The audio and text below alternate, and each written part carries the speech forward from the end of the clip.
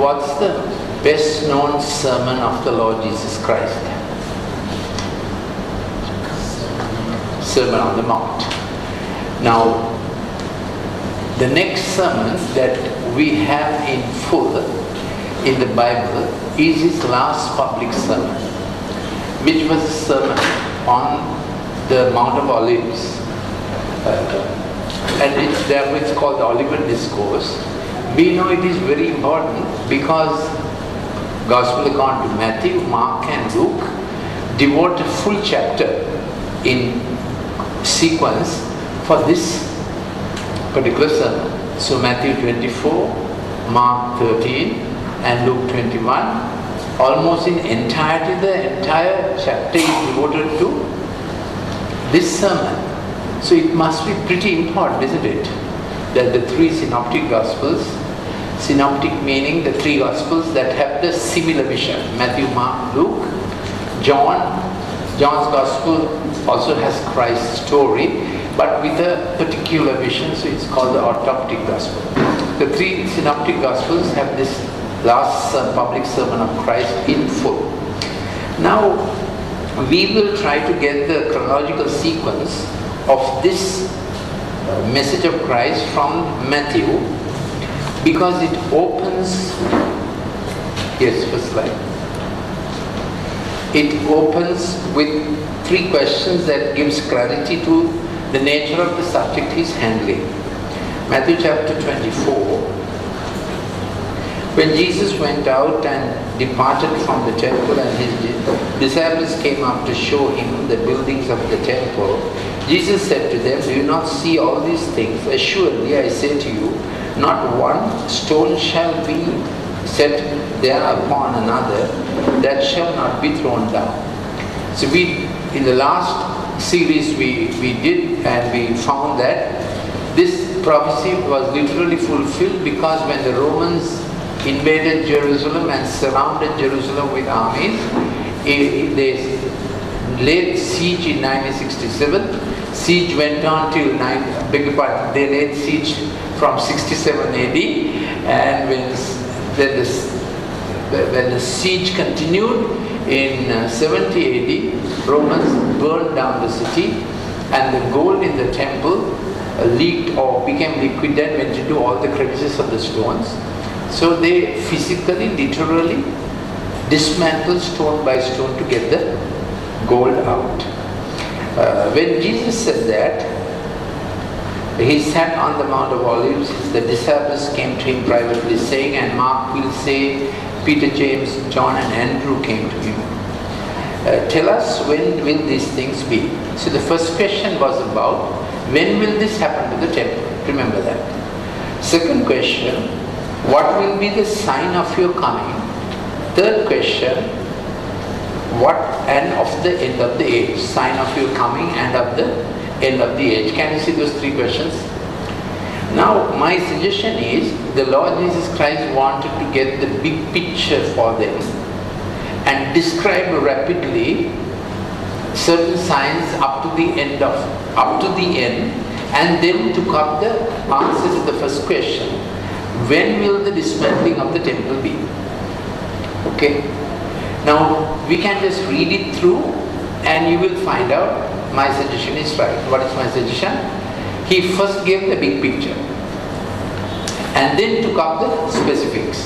He quickly gave a summary of what's going to happen till the end and what will determine the end and then took up this first question when will this sign of uh, the dismantling of the temple. Be because Jews were very focused on that. So here we get the Lord answer in the big picture. Many will come in my name saying I am the Christ and will deceive many. So that's the those are religious signs. So there would be religious signs of people uh, false Christs coming, other ways of salvation. So false Christs are outside Christianity, false prophets are inside Christianity, if you understood that giveaway. False Christ means others who claim to be saviors, whereas false prophets in inside Christianity who teach heresy and wrong doctrine. Then the second set of signs was in the political realm. You will hear of wars and rumors of wars. See that you are not troubled, for all these things must come to pass, but the end is not yet. So he kept his focus on the question they asked, end is not yet. So he's describing an end time scenario where wars and nations get into don't become better, they are getting worse. Did you, did you understand that? You will hear of wars, rumors of uh, for nation will rise against nation and kingdom against kingdom. Now some will point out to you that word nation in Greek is ethnos against ethnos. So even in a national boundary, people groups who have lived in harmony begin to war with each other. This has a parallel. Now you can see family being disrupted. I'll come to this later. That is, marriage is redefined, uh, children leave home early, children rebel against parents. So just the way the single human family is, a family is disrupted, the larger human family is also disrupted. That is, nations can't live in peace with nations not only kingdom against kingdom, even within a given state, ethnic groups have uh, fought each other, killed each other, virtually in, in many, many nations, if there were two ethnic groups, they have fought with each other. Uh, because uh, God's grace keeps family together, even for unbelievers. Because that comes straight from the Garden of Eden from, from the beginning of creation, God blessed man and woman to be fruitful and multiply. So whether they, whether they personally accept Christ or not, there's a blessing on when two people come together to live forever for marriage. God blesses that. That's even before the cross, that is granted by His grace of creation. Similarly, nations were created to live together and He gave resources to the nations. So, uh, nations also had this grace to be cohesive, work together, earn together. So when grace is departing or grace is in short supply, putting it differently, when people keep resisting the grace of God so badly, you will see the symptom in two places. I'll repeat it. When people violate the grace of God so badly, you will see the symptom in two places. One, in the single, in the family unit. Two, in the family of nations. If you understood that, give away. Understood that, isn't it? Like we need more chairs at least. So this is why the two look distant. I mean, a single family unit, father and mother, brother and sister doing well together, looks a simple small thing. But in the eyes of God, it's not a single small thing. It's the thing for which God created heaven and earth. It's God's first governmental unit and all of earth resources are given that a family would do well. Father, mother, brother, sister or siblings would do well. Did you understand that? So when human beings are resisting the grace of God, denying God, defying God in increasing measure, symptom shows up in the family unit being disrupted and the national family units being disrupted. That's what you are seeing all over the world. Correct? Isn't it? That's what we are seeing all over the world. So now let's, that's political science. Uh, I'm at Matthew 24. Then science in ecology and commerce famines, pestilences and earthquakes in various places. All these are the beginnings of birth pangs. Yeah. Next one please. Can we have the next slide? Also, when birth pangs begin, I asked this question last time. How many of you like birth pangs. Birth travail. The right answer is after 40 weeks, birth pains should come. After 40 weeks.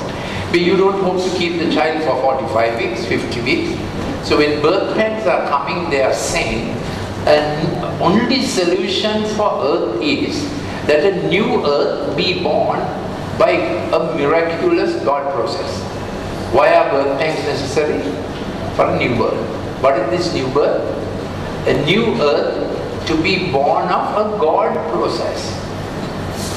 If we have time today, we can go through all the processes that seem to be winding down.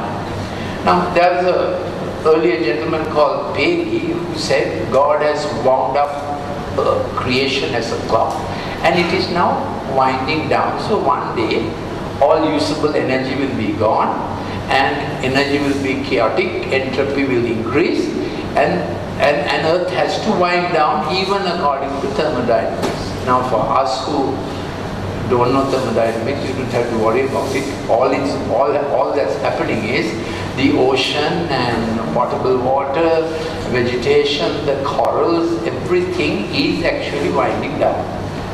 Uh, Psalm 104 said, creation will wax old like a garment, become old like a garment. That's what's happening. So these birth pangs are for God's new order to come through and Romans 8 says, even we the sons of God are groaning together, seeing these things are happening, they are going to have some effect. But we are not without hope. For us it's birth pangs of a new time to come. Romans 8 says, verse 19, for the earnest expectation of the creation eagerly waits for the revealing of the sons of God. But the creation was subjected to futility. The creation itself also will be delivered from the bondage of corruption into the glorious liberty of the children of God. But we know that the whole creation groans and labors with birth pangs together until now. Scriptures tally, because scriptures are the wisdom of God, they tally, I read Romans 8 22, uh, that in creation, creation is also going through a pang which will give birth to a new created order, but that is uniquely God, man can't do it, and all the physical science in the globe is saying there are many issues that are arising geophysically which man can't handle. Now, obviously secular humanists will not like this. They will say earth is? Ever, isn't it? So anyone, anyone being told, those who don't believe in a beginning and creation, they will say that earth is eternal, matter is eternal, time is also eternal. We say God is eternal, time came from God, space came from God, earth came from God. So it's a matter of two ideologies. For us, something had to be eternal. We say God is eternal.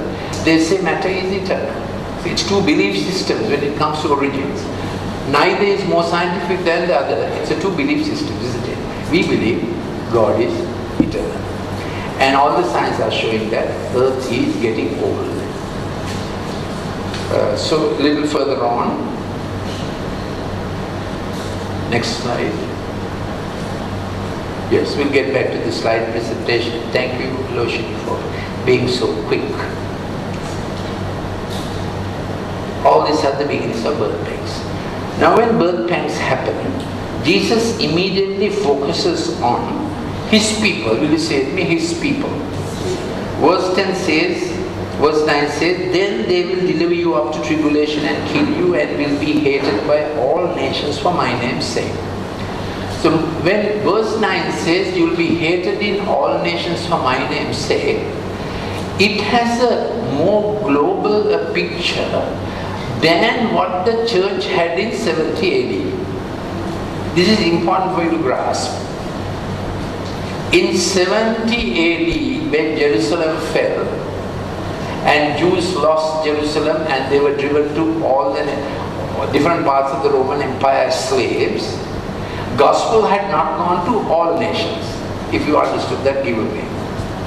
Because there were, I mean, there were Indians in you, America, there were Aztec and Maya and Inca in South America, and we were here in Sri Lanka, you know.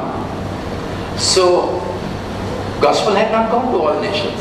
Therefore, this Matthew 24, 9, you will be persecuted in all nations, didn't happen before 70 AD. If you agree, just give away. It will happen at the end of time. There's a reason why I'm, uh, why I'm laboring on the point. It, so this uh, verse 9 is also about the large picture. I told you at the beginning, there are three questions.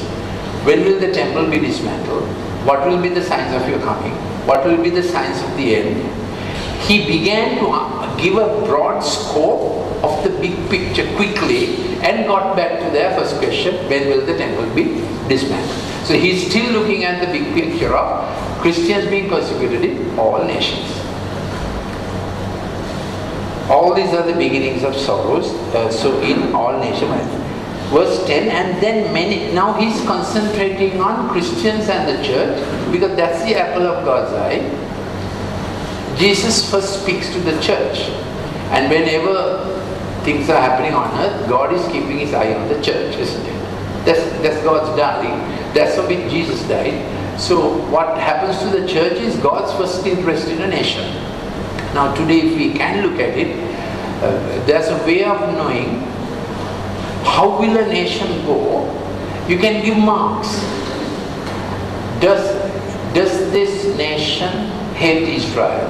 Then you get minus 10. Does this nation teach the, teach the, uh, treat the church well? You get plus 10. Three, does this nation mm, mm, uh, you know, care for its own. So like that you can give marks to a nation and see, is this nation full of uncontested sorcery? Is this nation having uh, abortions more than live births? You get the point. Nations begin to go down in life index. You have a life expectancy that people calculate for insurance or even in a nation. Similarly, God has a life expectancy calculation about nations. But He's also keeping tab of every nation because for him this is a big family and God is omniscient and omnipotent and he can keep tab of every nation how they are doing in their in his index and we also can understand in the mind of God what is God's ex life expectation for Sri Lanka it's possible but that we might get on to later in the day at present we are seeing how Jesus gives a quick snapshot view about the church, maybe a Snapchat view. Matthew 24, 10 to 30, many will be many will be offended and will betray one another, will hate one another. Where? Where? The, in the church. Many false prophets will rise and deceive many. Where? In the church. Where do false prophets rise? In the church. Where do false Christ rise? In the world, in other religions. And because iniquity shall abound, the love of many will become cold. Where? In the church. So three times this many is given. Not that we should get scared, but how do we prepare for days like this? Be sure that every bit of offense that comes into our heart, unforgiveness, bitterness, grief, malice, hmm, you know that, hmm, sooner we deal with it, safer we are.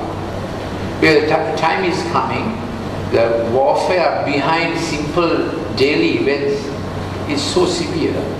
It's not worth harboring offense for even five minutes, you know. Don't let it arise. As you feel this offense coming, deal with it. Bring it under the blood. Don't keep it. It may be husband and wife. It may be child and parent and child, whatever relationship you deal with it. Second thing, watch out for deception. Third thing, iniquities that sap your love for God and love for, this is agape, love for wife, so the, the, the, the sinful things that come up. So you have to watch these three things, offense, deception and iniquity. Now the strange thing is, all Christians are not vulnerable to all three. You must know your personality type. Are you the kind who, who is more vulnerable to offense? Some, some like that. They can be quite holy about other things. They, they, their eyes don't stray sexually, they are very pure. That's why they can be very offended about something, isn't it? Then there could be a second kind of Christian, no wind or wave of doctrine can shake them at all. They are very sound on doctrine, very bad on offense. You get the point? So, of the three, I must know what I am vulnerable to. Then we can be safer. The last one is few. Can you see that? He who endures to the end, same shall be uh, he who. That's in the that's in the singular. He who endures to the end, same shall be saved. So again the word end comes up, which means he still has the end in view. Okay? But he who endures to the end. And this gospel of the kingdom will be preached in all the world as a witness to all the nations, and then the end will come. So there he gives a snapshot view of the large picture and gets on to the immediate thing. Okay? So this doesn't need any expository genius. You are a simple Bible student, simple believer. You are reading through Matthew and you find he has given a snapshot view of the big picture it will come. Then he gets into specifics. Okay? So what's the first specific he begins with? Verse 15, therefore when you see the abomination of desolation, spoken of by Daniel the prophet standing in the holy place, whoever reads let him understand, then let those who are in Judea flee but to the mountains. So it's specifically to Judea. It's to nobody else. See, it's about disciples who will be immediately present when these things are going to happen. And this thing about Daniel and abomination of desolation, only Jews will know at the time Jesus is speaking. Okay? So this was a limited event that happened and by, by uh, AD 70, Romans uh, surrounded Jerusalem, desecrated the temple in different ways. Uh, their statues were brought inside and they uh, on purpose denigrated. So for the Jews, unbelievers coming, Gentiles coming with their statues to the most, uh, most holy place was a terrible abomination.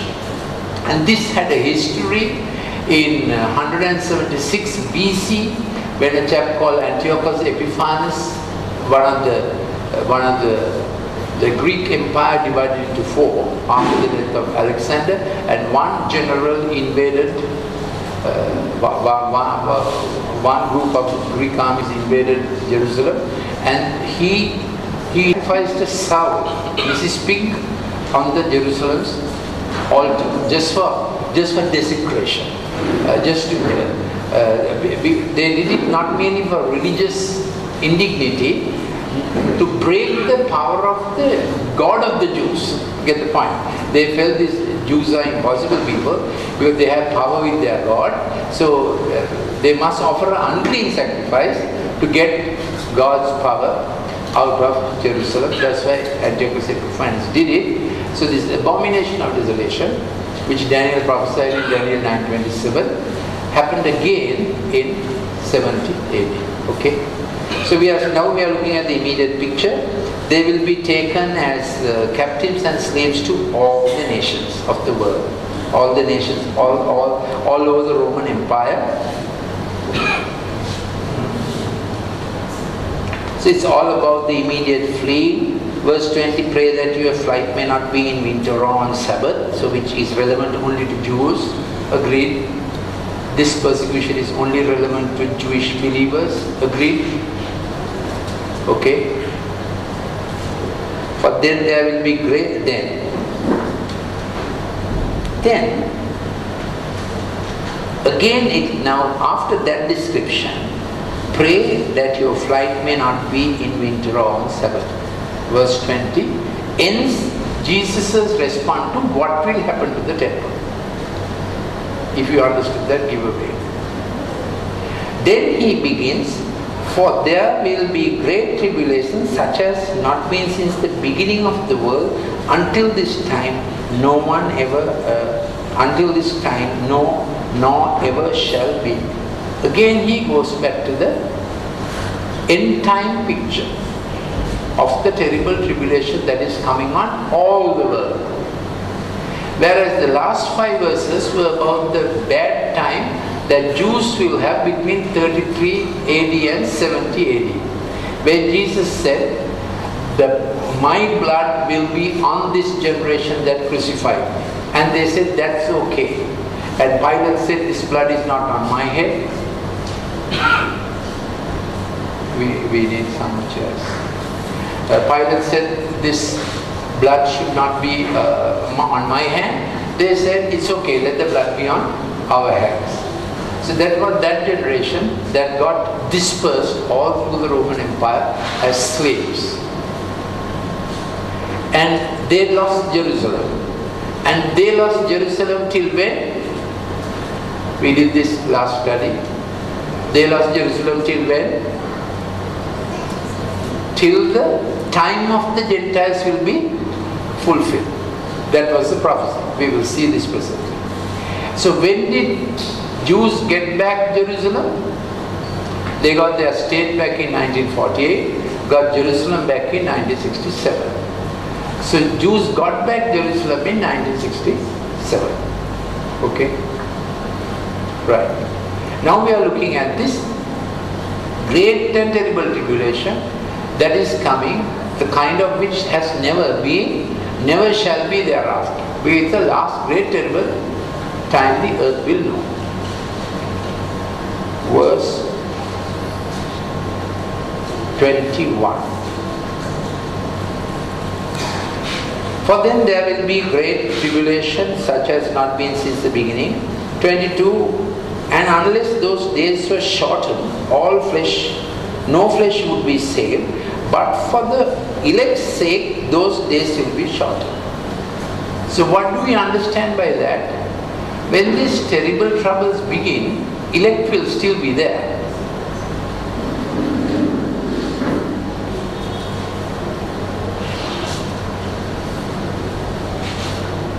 So how will the Lord shorten the days for the elect?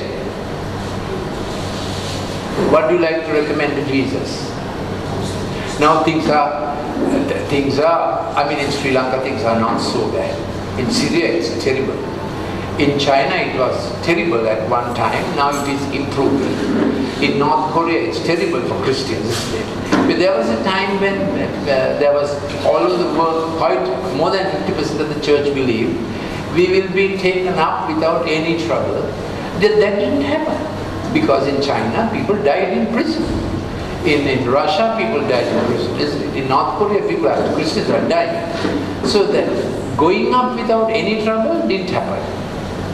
Correct? So there's some trouble.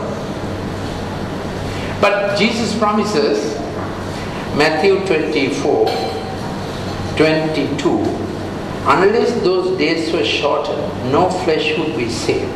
But for the elect's sake, those days will be shortened. Are you glad? So you want to be flesh or elect? You want to be flesh or elect?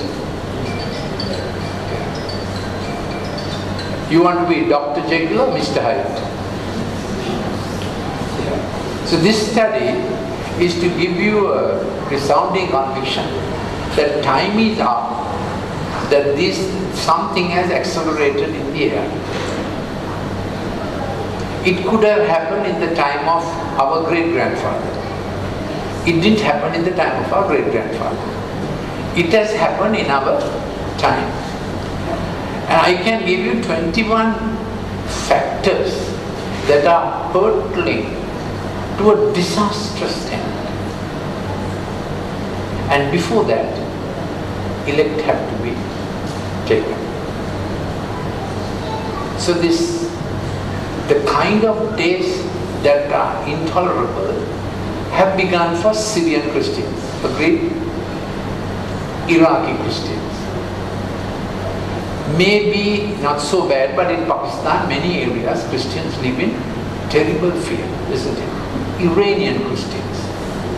Okay? And for Christian bakers in Obama's America, it's only bakers. But it's getting to Roman Catholic universities. It's getting to Roman Catholic hospitals that don't offer abortion. Now follow me closely. We like to think earth is nice, humans are nice, times are not so bad, it will improve because we want ease. Now, I must say we had ease. Hitler came and went, isn't it? We had ease. Even now, now when in UK the cinemas chains refused to have a one minute video clip which Archbishop of Canterbury prepares. Now this is not some five star Pentecostal church. This is the Archbishop of Canterbury. You know the story? He prepares a one minute video clip for the Lord's Prayer, where he is a godly man. And every cinema chain in UK refuses to air it on an advertisement basis. This is not summa, you know, it, it, it's to pay and publish it, isn't it? We can do it in Sri Lanka. if there's someone wealthy enough, we can do it in Sri Lanka. So David Cameron has said this is against free speech, which is true. Anyone should be able to advertise this because they advertise such horrible, sensual, immoral things. So, uh, so this this anti-Christian thing that is developing in nations. But it speaks well for England, isn't it? England's most of official church takes a stand and wants to publish and England's Prime Minister supports it. So another, you can give 5 or 10 marks when the head of state is not anti-Christian. You can get a, give another 5 or 10 marks when the head of state is pro-Christian. You get how Nations get life expectancy, gradation and calculation from God the Father. Every nation is accountable to Him because He created nations in His image. Ephesians 3.10 says, every family on earth He named personally and they are accountable to Him. That's how He watches nations. Um, so, for his, for his elect's sake, he will shorten these days. For elect, the days are short. For flesh, for flesh, very difficult days. Now this is the time for us to pray for our loved ones. If you have a father and mother, still flesh and not elect, not receive Christ into their heart, you must pray now. We'll take two minutes for prayer. Brother or sister, not in Christ, we must pray. So these are days when we read these scriptures, fear of God comes to us. And we are moved that we must not be haphazard about witnessing to those whom we can visit. These are days like that. So if we don't take the warnings of Christ, we will not witness in an urgent way. It's easy. This is not easy time all the signs of the times are saying something has accelerated in the nations. When millions of people are losing statehood, and 400,000 Syrian children are in uh, refugee camps in Syria. Syrian universities are empty. And Syrian refugee, among Syrian refugees are professors, medical doctors, well-to-do people who have gone seeking refuge in other countries.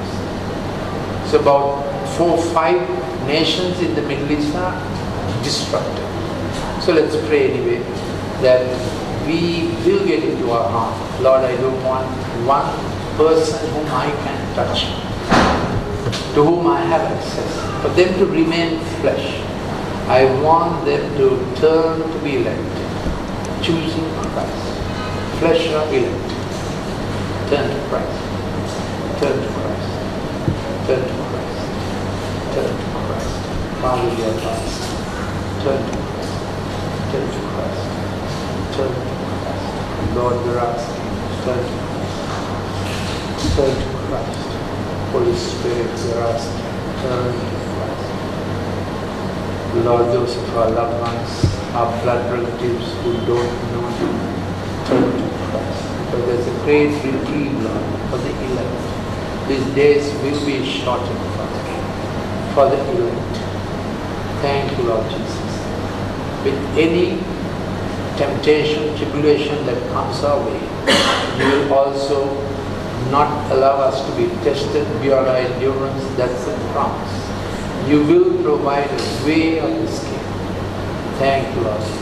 And we remember Luke 21, 36, which says, when these things happen, watch and pray that you be worthy to escape what's going to come upon the world.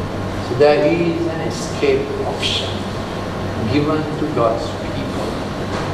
We want to seek your kingdom and your righteousness first these days. Make sure that our priorities are your priorities, Lord. In Jesus' name we pray. Now, continuing, just, just reading through Matthew chapter 24, okay? I'm not doing anything unusual. Matthew 24, 23, he takes up the description he began at the beginning. Then if anyone says to you, look, there is the Christ, or there, do not believe it. So we can see that he is continuing that first theme of end times. Understood that? Where he's prefacing it, just the way he gave that short introduction to end time. Now he's again using the same language to let us know he's getting back to end times, having described what will happen to Jerusalem in 1970 AD. Uh, false Christ, false prophets 24, uh, show great signs and wonders to deceive, if possible, even the elect. Now, this says that there will be false miracles in the church, outside the church.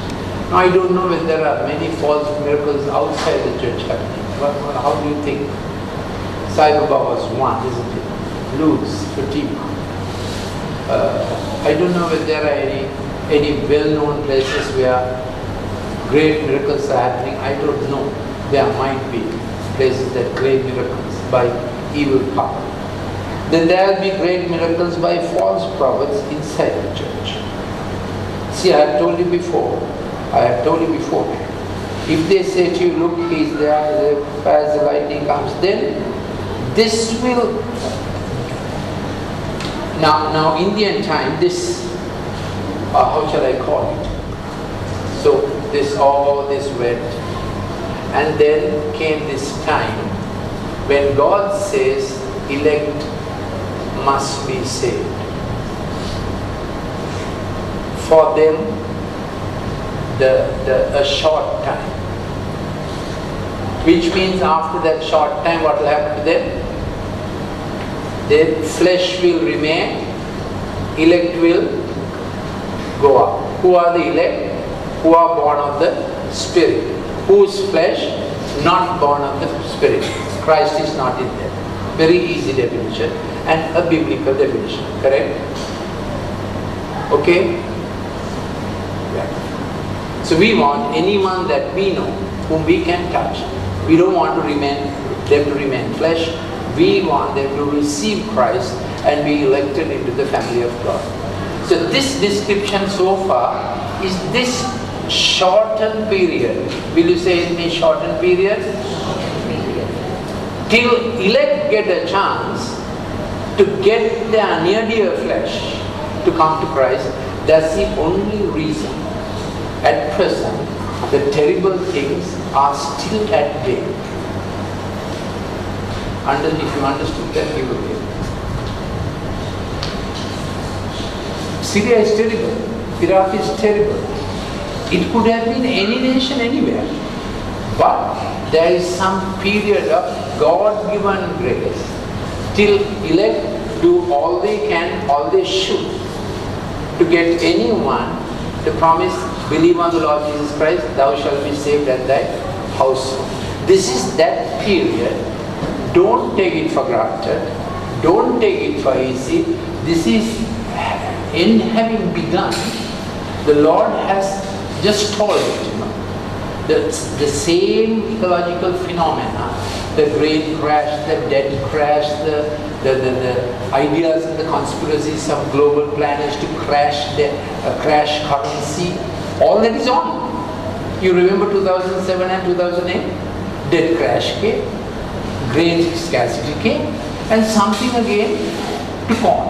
Oceans are dying, and ice is melting and which is all true what for a long time what happened was icebergs didn't melt. So they kept saying where is this ocean warming, where is this ocean rising? Icebergs are till the same size.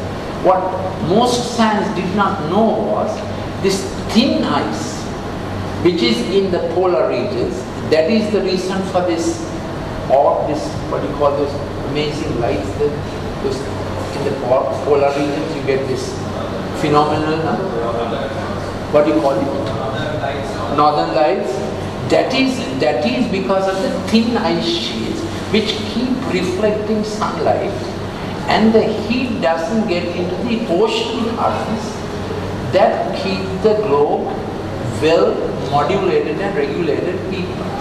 Now thin sheets of ice have largely melted away, though the big blocks of ice are still there.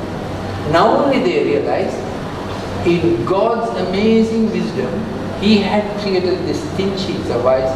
When they melt away, all the, of the heat in the polar regions get inside the oceans and ocean currents are disturbed. So you have brother El Nino and sister La Nina, who's much worse than the brother, giving these unpredictable storms now. So it's already happened. So this year may be a year that uh, that these storms are coming and it has been increasing every year. Now they have figured it out, how it happened, what had happened, why so many good scientists didn't believe in ocean warming. Actually what is the phenomenon, they have now figured it out.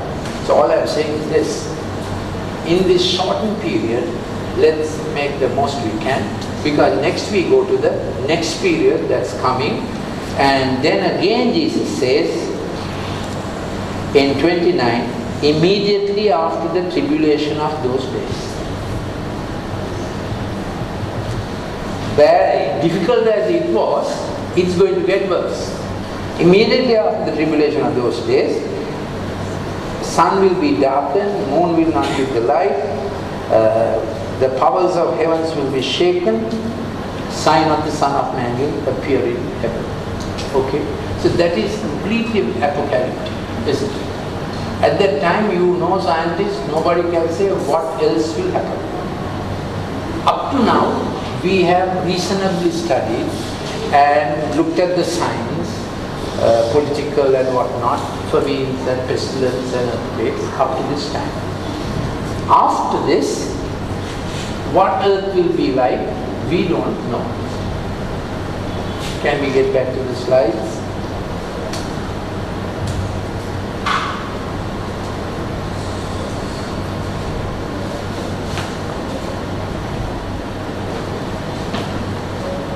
lagi ke dalam It's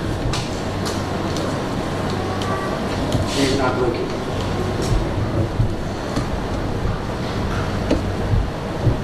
Next. Okay. This is from uh, Mark. One before that. Medicine. Uh, okay, we did it. Next one. Any questions at this point? Any questions at this point? Yes.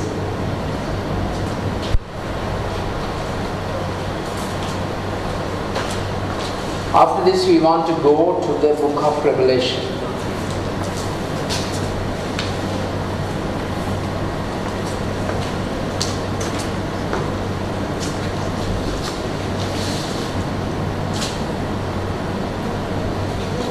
Any questions? Yes. You said those who will be kept safe. Now, one can elaborate on this. Those who endure this, you here. Number two is uh, now have the knowledge of false prophets and false Christ and false miracles is not enough or identify Yeah. So I think the endurance immediately it is after the three things he mentions, the offense. Now we know, I was going to put this up, maybe this last generation, brother will be the brother to death, children will rise against parents and have them put to death. Now, this is a eschatological and an apocalyptic phenomenon. That is, in, in ISIS territory, children are made the executioners. In communist countries formerly, when you had to get the communist star in Russia, when you are passing 14, uh, children ratted on their parents, whether they were following Christianity and so on, and when children uh, witnessed against the parents, those children are made youth leaders of the communist movement. That happened in some measure. Now we find children taking firearms and killing parents. In ISIS territory, children are made the executioners. Child soldiers, Prabhakara did it. Uh, world over, children are being used for war. And children killed. So I mean, always adults kill. But Jesus is saying a time is coming when children will use murderous weapons.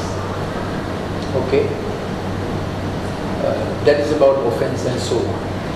Uh, second thing is about false prophets and deception. Uh, I, when I am looking at this, you know, people are saying all will be saved after death. That the cross is for everybody, which is universalism. Uh, that God is a good God. You can do whatever you whatever you do, you are saved because Christ died for you. This is not the gospel that was, this is another gospel. Uh, did we get this book? Did you get 50 copies of this book? Now I'm trying to see whether during this study we can get used to looking at this book. I have a chapter on this book called Another Gospel. I wrote this some years ago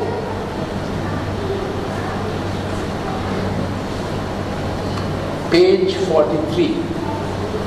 If you can give at least uh, one for three people. The gospel according to me and my opinion. This usually a mix of truth and fables. Desiring to save whom I love with my wisdom. The gospel without the severity of God. Uh, Romans 11 22 says, uh, because of the severity of God and the kindness of God, they work together that we may be saved. Now this is nothing, nothing to be scared of. When your child does something wrong, severity means you don't tolerate him behaving like a holy man, isn't it? You may not take a rod and eat him, but you will say, son, that's not the way to behave, isn't it? the severe side of God, your severe side protects your son from getting into increasing trouble. If you don't stop him in the small things, what will he next do? This is happening, isn't it? When parents are not not stopping children doing, you know, doing small bad things, they increasingly do terrible bad things.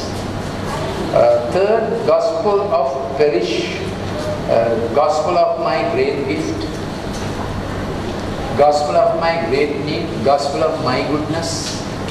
So I have listed about 14 kinds of things which is not the gospel. In our time we have heard of cheap grace, that you don't have to repent.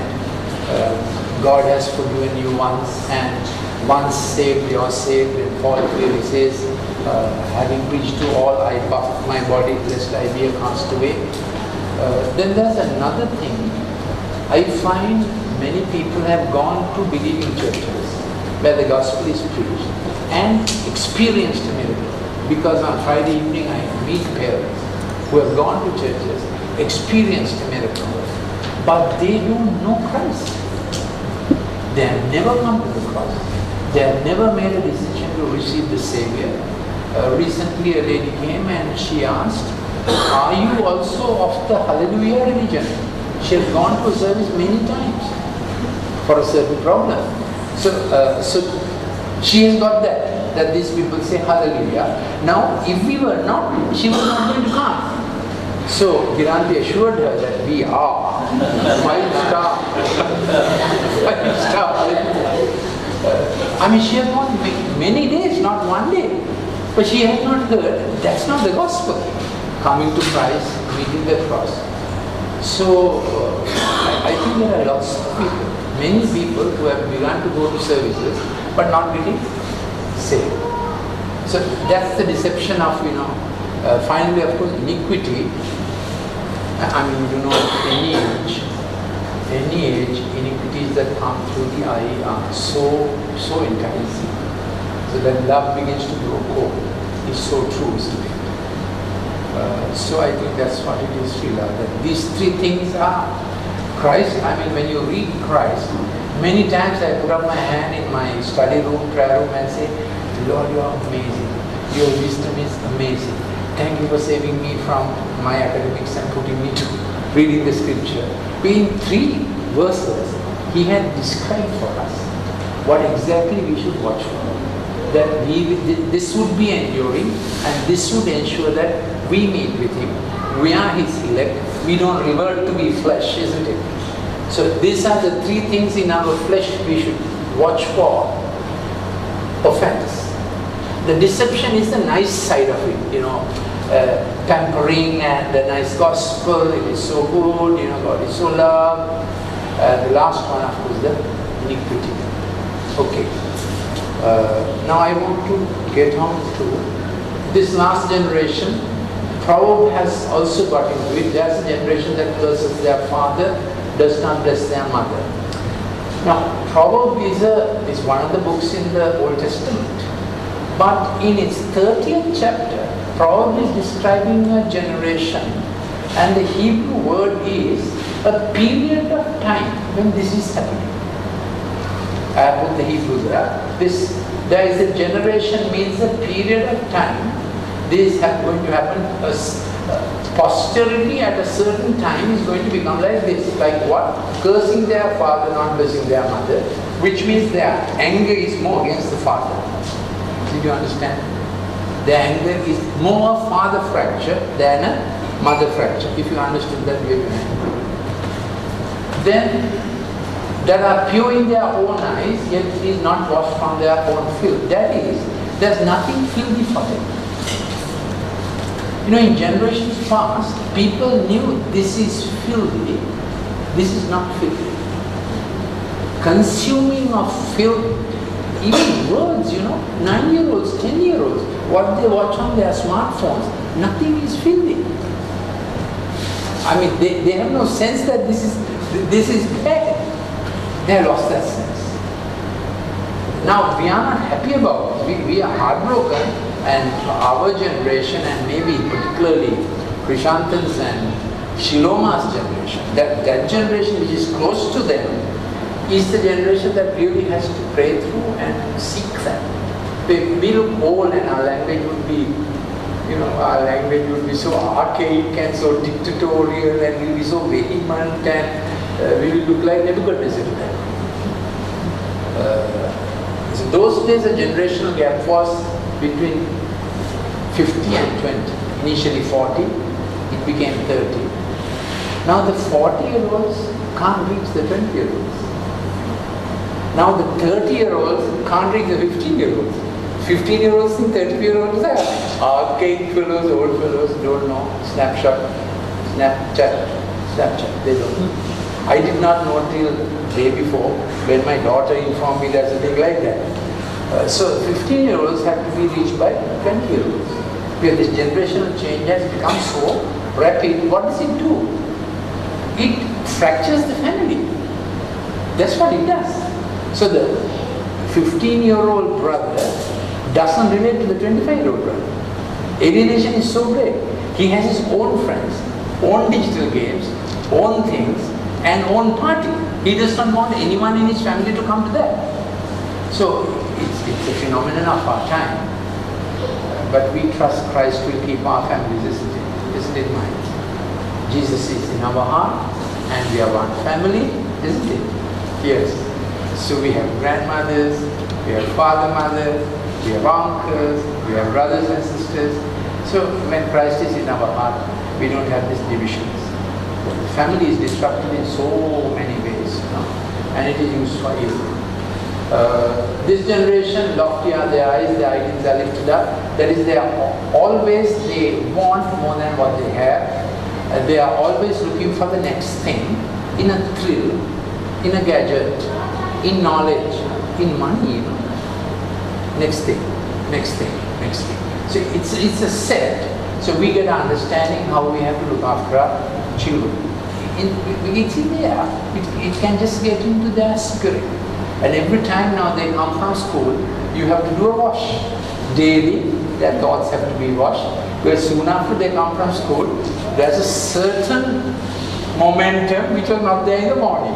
So you can't wait till next day. That's why parents have to take time to, you know, see the child enough for a day. You can't wait till the next day. You can't wait till that fantastic holiday you're going to have so that you can give time for your children, once in four months. You can't do that. Every day there has to be a relationship.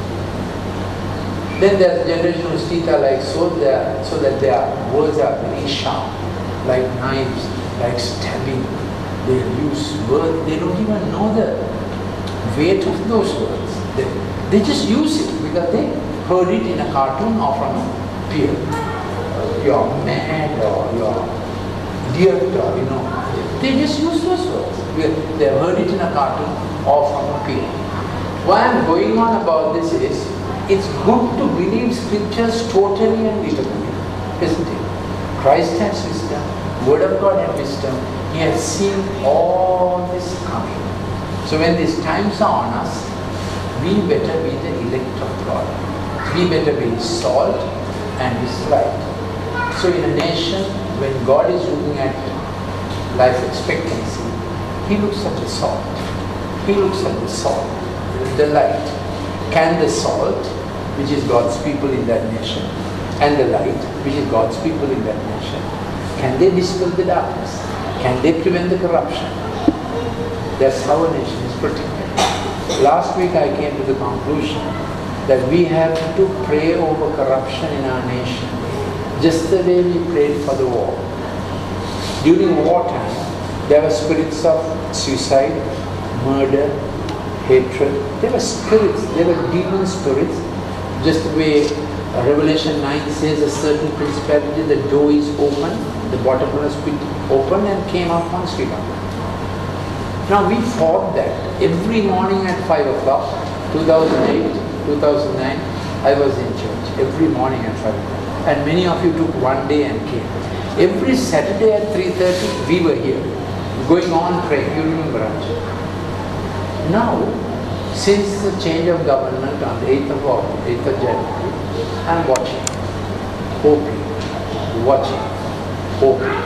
Corruption level is still the same. It hasn't changed. So last week I said, corruption has got institutionalized and demonized. Every chair that sits with financial decision, he corrupt. Now that is a spiritual phenomenon. So like the way we prayed for bloodshed, we have to pray for this bleeding of the nation. And the bribes that are offered are not few things. One particular minister's secretary we know, at least we know who, he was offered in the first week 10 million to get this through.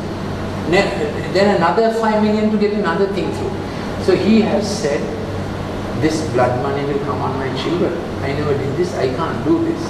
But that's the kind of leader, and that's the kind of people who are there, and that's the kind of ministers who are there. So we have to pray through where we are salt, we are light, and we can. Shall we say together, we are salt. Yes. Jesus is in us. Jesus. We are light. Yeah. Jesus is in us. We can pray through. Because if we put the problem outside us, we will have no hope. We just criticize and make it worse. Because we are salt, we are light, we are the solution. Solution can't be critical. Pinch your neighbor and say solution can't be critical. Some people see problems, some people see solutions. What do you see? Some people see solutions to problems, other people see problems in the solution. What, how are you? So this is the time we take strength at Christ in us. Next slide. Yeah, that is enough. I think we have done this before. I want to get to the book of Revelation. Now we have finished exactly one hour. Let's fan our brain with some oxygen. Jahan, do you think you can get me a glass of water? Glass of water. And I want to, if possible in one hour, help you to look at the book of Revelation and to be able to know it.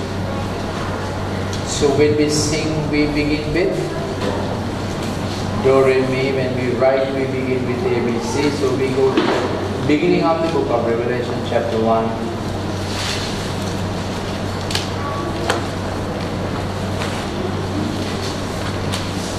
I will ask you the question through the book of Revelation. Is this literal or allegorical? You understand? Is this actual or is it picture language? Second thing I'll ask you, where do you get this in the Old Testament? Because the new has to be interpreted in the light of the old. Third thing I'll ask you, is this happening in heaven or earth? Fourth thing I'll ask you, is has this happened and finished or is it going to happen in the future? If you understand then give a wave, but I'll put it down to the book. Four questions to ask regarding the when you're reading through the book of Revelation. Literal law. Have you heard the word allegory before? It's the second cousin of alligator. Literal or allegorical? allegorical is a picture form.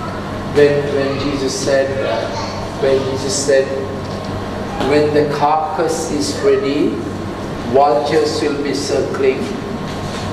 Matthew 24. That means when a nation is bleeding and dying, vultures come to take from it. So vultures are, are powers people who who who a dying nation they take out of it. So that's an allegory. Every parable is allegory, isn't it? Sower where to sow, seed is the word, sower is the Lord, stony heart. So those are allegories. It's a story giving uh, from which a meaning has to be derived literal allegorical. What did I next say? Is this happening in heaven or earth? Is this present or past or future? What's the next one I said?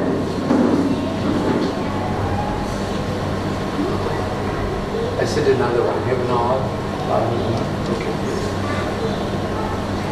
So let's look at chapter 1. No?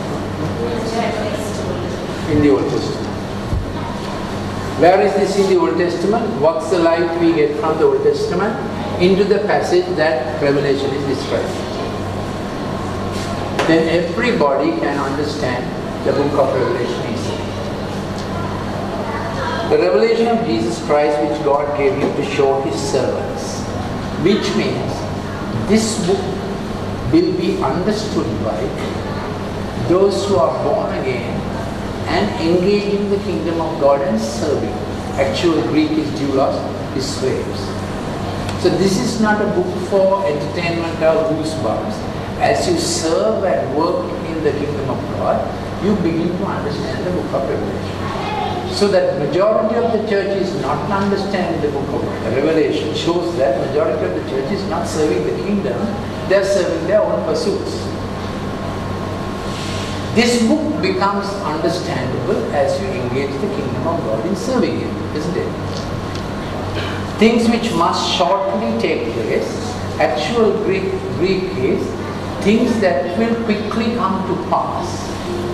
When it when the book of Revelation describes certain time periods, and that event will quickly gather just the way Revelation chapter 6 has horses that are galloping. Shortly come to pass meaning, John, the meaning is it will quickly happen and finish once it begins.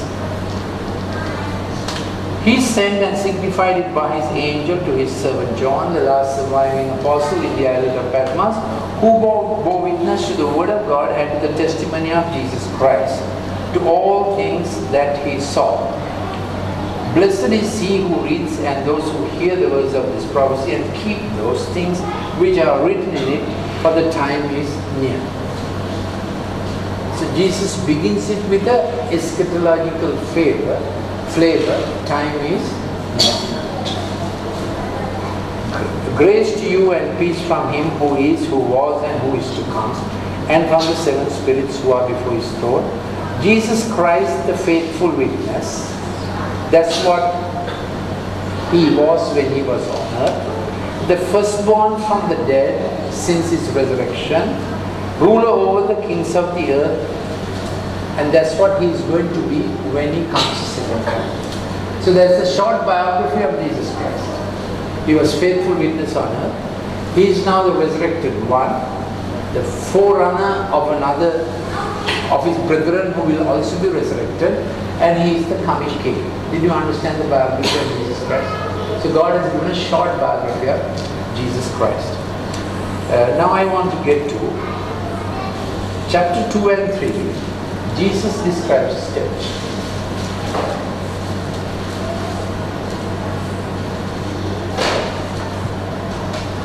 Revelation 1.19 Write the things which you have seen. So John saw Jesus in the island of Patmos. Tell your neighbor what did John see? What did John see? Jesus, John saw Jesus in the island of Patmos, the glorified vision. When did John see Jesus last? At the cross. Mangled, terrible, heartbreaking. Of course, he saw him after the resurrection. But now John sees Jesus in great glory. Great glory. So you have hearkened and come to know he is Christ, He is King, and what He is showing and what He is saying, the church can carry on forever and ever till He comes. Amen. That's the purpose of this vision. This is a mission handbook for all times, particularly for troubled times. That's what the book of Revelation is. To be lived out in difficult times. Uh, so write these things you have seen, the things which are. So what are the things that are? The churches that were during there in John's time. And the church that was there in John's time, is it there in our time? Yes, to this day the church is on earth. Therefore, as long as God's vineyard is doing well in a nation, that nation will do well. Was the most power-typical nation in the world.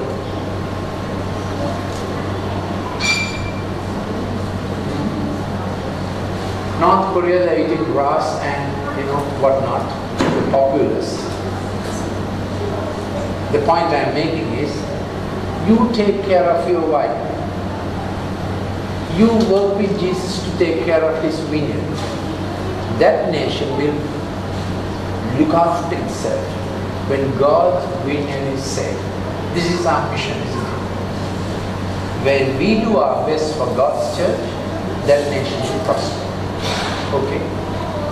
That's how it is. In every time in Sri Lanka, when, when the government was favorable to the church and the church did well, Sri Lanka prospered. That's how Sri Lanka prospered from 1917 to 1948. Church did well. And from 1956, nation went down, church went down, and we are just catching up. That's the story of brief history of Sri Lanka. Every nation will have this history church. Finally, the thing that will take place after this. So chapters 2 and 3 are the church. Then after chapter 3, you are going to see what will happen when the church period is over. If you understand that, give away. Of the churches, I like to take two for contrast. Uh, church number 2, the persecuted church. Revelation chapter 2, verse 8. The messenger of the church in Smyrna write, These things says the first and the last, who was dead and came into came to life. So Jesus is speaking to the messenger of the church. Maybe the apostle of the church. The Greek is angelos, which translates for heavenly angel as well as earthly messenger. How does Jesus introduce himself? As the first and the last, who was dead and has come to life. Why would Jesus introduce himself like that? Because this church is facing death all the time. To give them confidence, don't fear death. You will see that presently. I know your works, tribulation and poverty, but you are very rich. And I know the blasphemy of the they are Jews and are not, but are a synagogue of Satan. So this is a persecuted church. Smyrna means in Greek it means crushed. Smyrna means crushed. Do not fear of any of these things which you are about to suffer. Indeed, the devil is about to throw some of you into prison, that you may be tested. You will have tribulation ten days. So through the reign of ten empires in the Roman Empire, church suffered. Till Constantine brought freedom and brought corruption.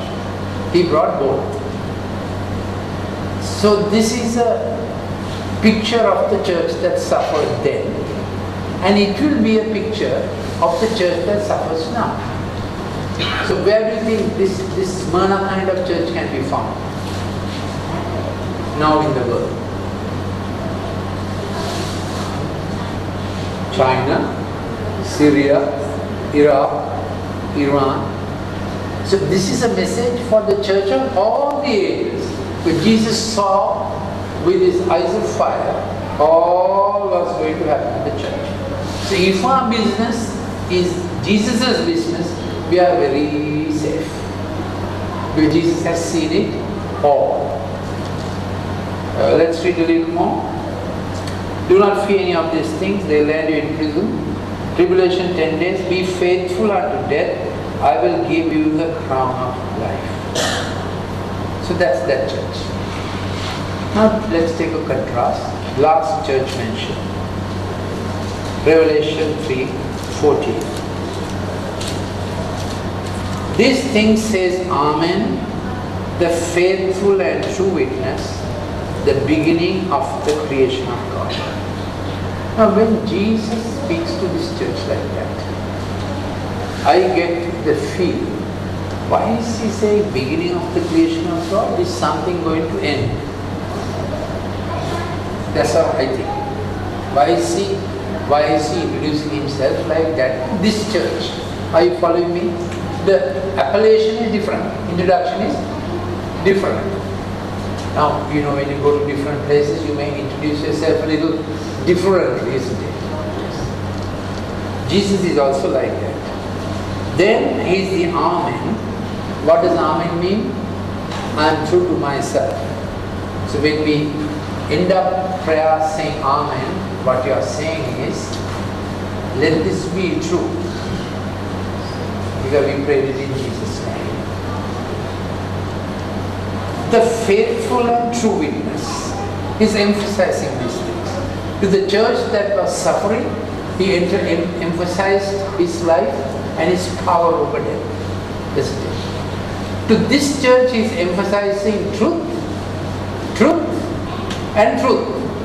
What might be the problem of this church or the need of this church? Get the point, isn't it? Because first church, they were facing death.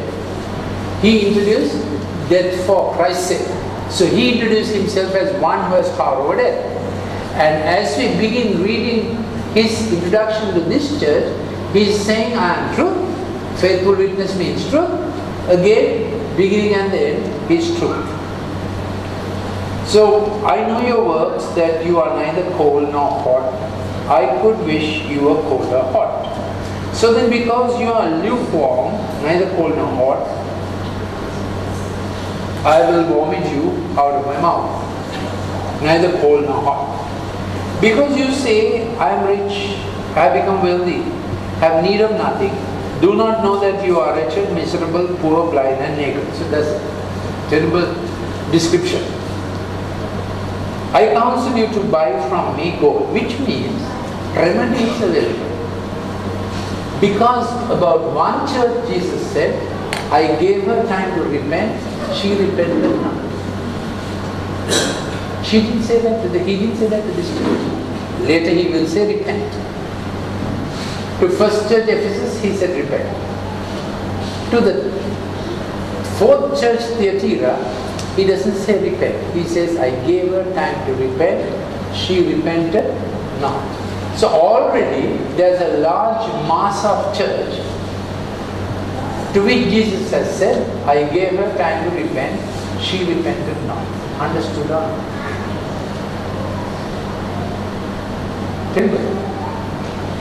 Thyatira is also church. You can go home and read it because I want to do a synopsis of the whole book so that you will you will know I also can understand revelation. This church, he's saying I counsel. When Jesus counsels, he expects a result, isn't it? He expects a turnaround. This church can turn around. Only thing, we must tell this church what Jesus says. If we mollycoddle this church and don't tell the truth, we are doing them a disservice. Telling truth has a cost. Telling truth has a cost. Isn't it? Telling truth has a cost. Because you say I am rich, what not? I counsel you to buy from me gold refined in the fire that you may be rich. So we have to tell them there is a richer, there is a there are riches that you have to get from Christ. Riches that I can see you have got is not taking you to eternity.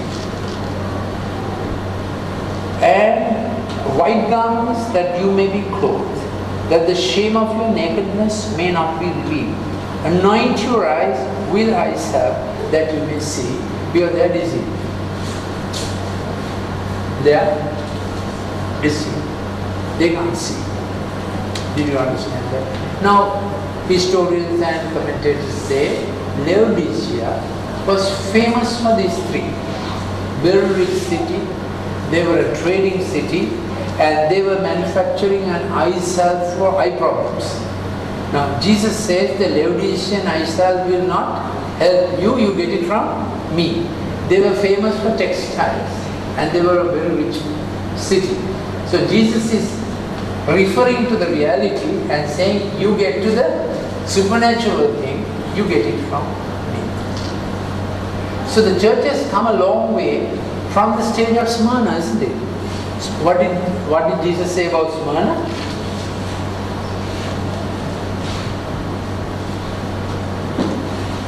Tribulation, poverty, isn't it? Prison. So which is the blessed church? Very difficult, isn't it? How are blessings defined now? Looking from outside, Laodicea is the best church. So that is why we need. Will you touch your eye and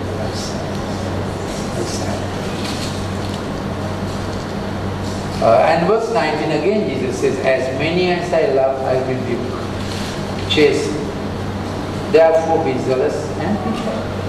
Call is available. But this is a church. Call is available. Say with me, call is available. Because with Thyatira he says, I gave her time to repent. She repented. That's a fearful indictment, isn't it? So there is one seventh of the church. Seven churches? So one seventh of the church to which he says, I told her to repent. She's beyond beyond redemption or beyond beyond correction already. For her, judgment has already been passed. That's, that's fearful. Uh, okay, so then the church age ends because we know he's at the door. Verse 20 Behold, I stand at the door. Now, he has come. Good news or bad news? Have you ever peeked through the peephole of your door and not opened the door?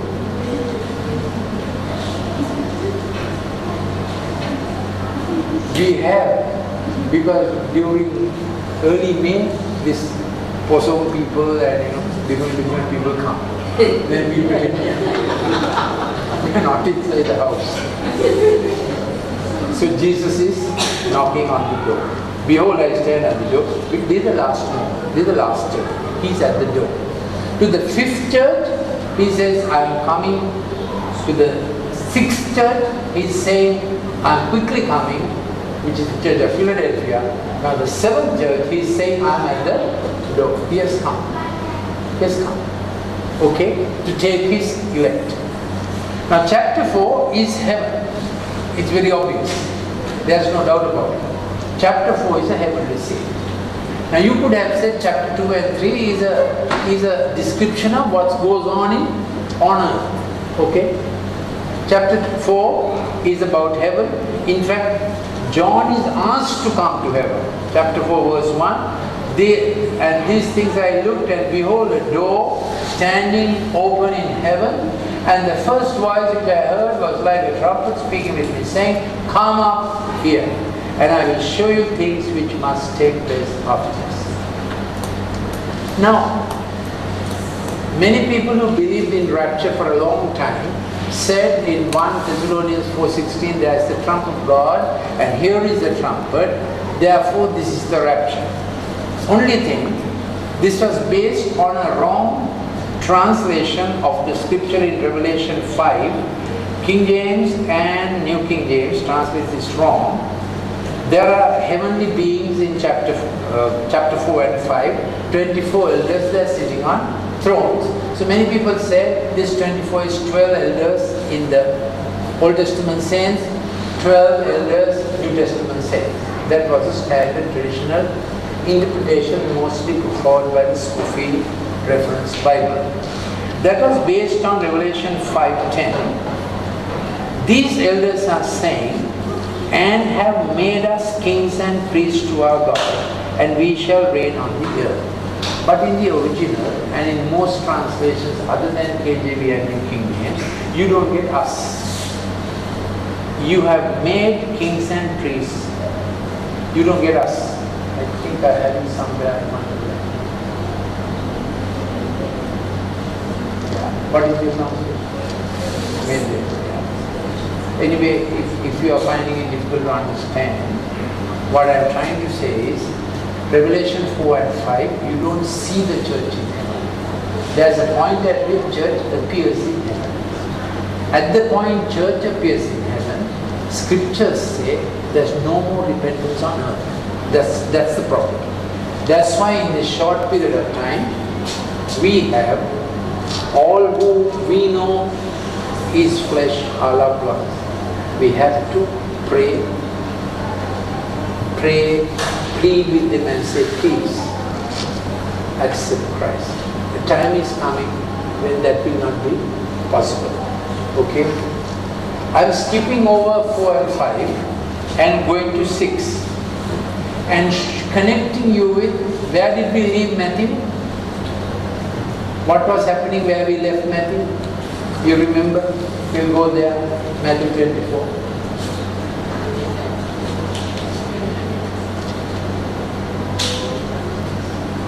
Matthew 24.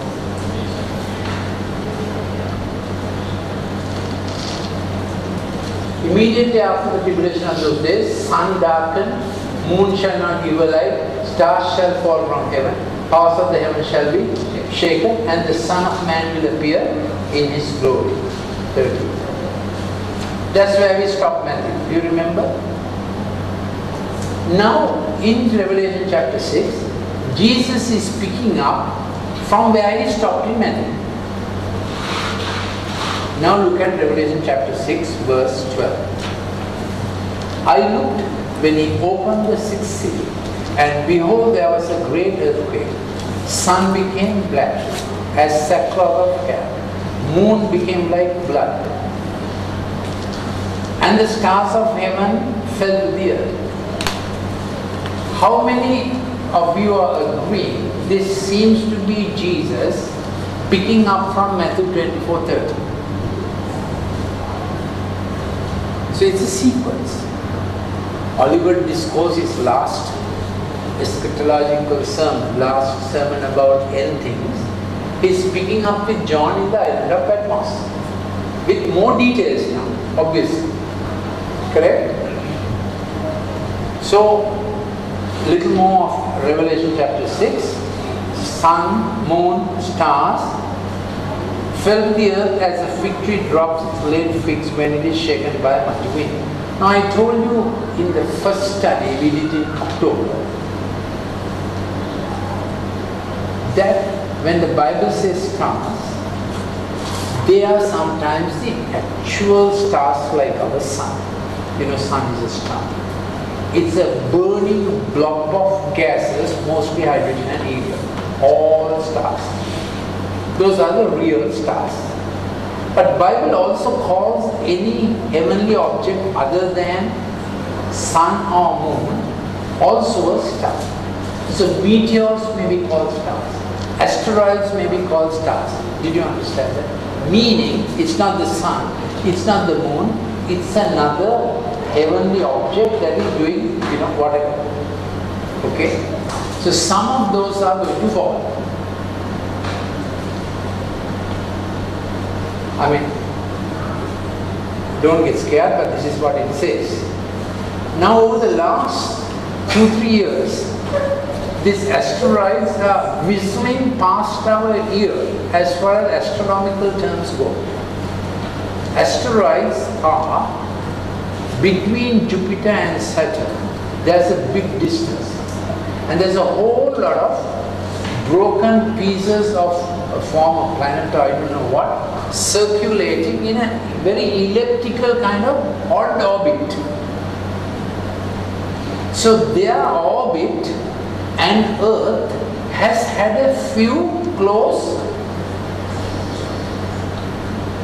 bye-byes. Thankfully they, they, they were coming to kiss us but they didn't kiss us, praise God. Why? Why? Because we are still here. Because the church is still here. I'm not exaggerating. I'll, I'll go through the sequence. So this, this, then verse 14, the sky receded as a scroll when it is rolled up. That is because this blue color is the illusion. When these changes are happening, the blue color illusion goes off. Blue color illusion gives us a beautiful canopy and we can go to sleep in peace. If this blue color is not there, you will see all kinds of fireballs and what supernova is doing. That's the biblical nova, that's the astronomical nova. The giant, you know, all kinds of things are going on there. Now that illusion of the blue scattered light will go off. What else? Kings of the earth, uh, every mountain and island was moved out of its place because of earthquakes. In every tectonic boundary there will be shaking then mountains will move, islands will skip, like in the Fukushima earthquake. Kings of the earth, the great men, the rich men, the commanders, the mighty men, every slave and every free man hid themselves in the caves and in the rocks, in the mountain, and said to the mountains and rocks, Fall on us, hide us from the face of him who sits up, no repentance. They are only saying, speaking to the mountains and saying, Hide us. For the great day of wrath has come. Who is able to stand? So this is a completely different ballgame. Agree? This is what Matthew is describing in Matthew 24. Where are we? In Matthew chapter 7, we have safely gone to heaven. Will you a clap? We are not here. That's why people can't repent. Church is not. Church is not. Church is not. Because uh, just before what I read, when martyrs are crying, how long? The Lord says, only a little time. You want to read it? Revelation chapter 5, verse 9. When he opened the fifth seal, I saw under the altar the souls of those who had been hived. 6 9, no? Souls of those who have been slain for the word of God and for the testimony which they have. They are already dead. And they cried with a loud voice, saying, How long, O Lord, holy and true, until you judge and avenge our blood on those who dwell on the earth? Then a white robe was given to each of them, and it was said to them that they should rest a little while longer until both the number of their fellow servants. So that's the first lot of saints entered in heaven. White robe is given. It will just give away. White robe is given. First batch of saints in heaven. Correct? White robe is given. But they are told, rest a little while. More are coming soon. Little while, only little while. Okay? Both the number of their fellow servants and their brethren who would be killed as, as they were was completed. So there's going to come a time, a quick killing of Christians will happen. Then we know, and this very near. Is the quick killing of Christians happening now?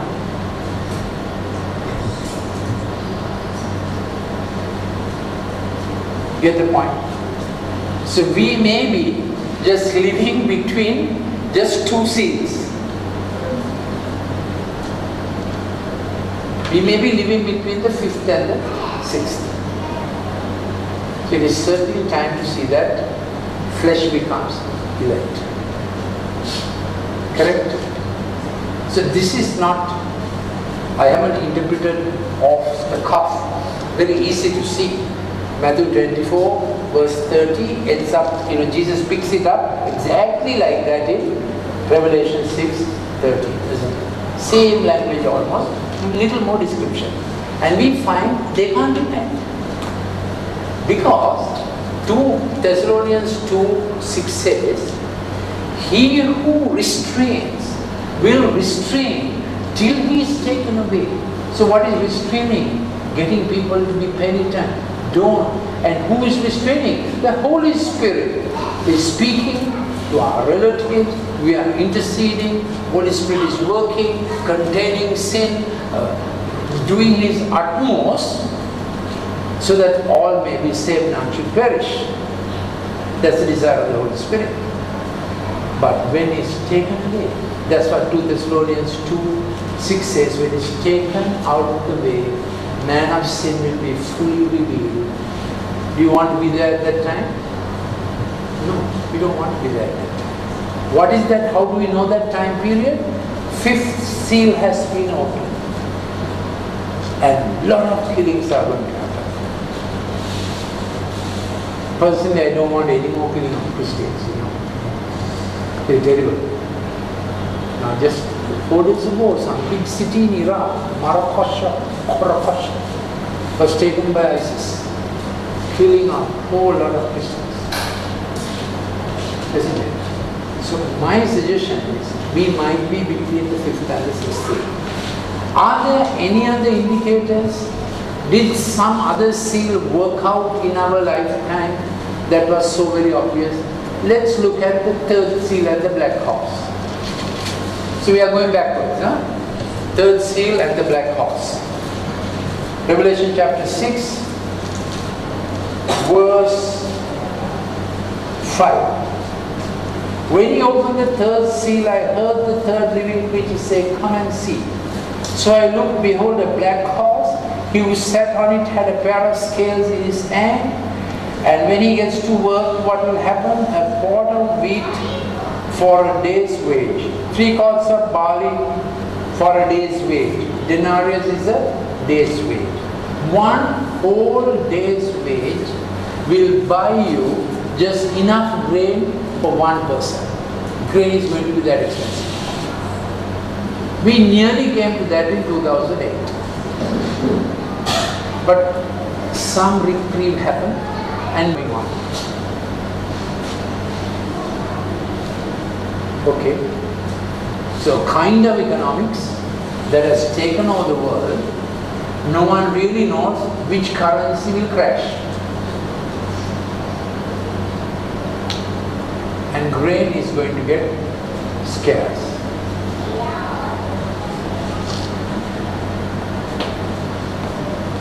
Now I said repentance was not possible because the Holy Spirit has gone away with the church. Now where did the church go? Chapter 7 shows where the church went. If you have been waiting with bated breath, did only that first batch of people got their white robes? No. There's a large batch of people getting their white robes. Chapter 7, verse 9.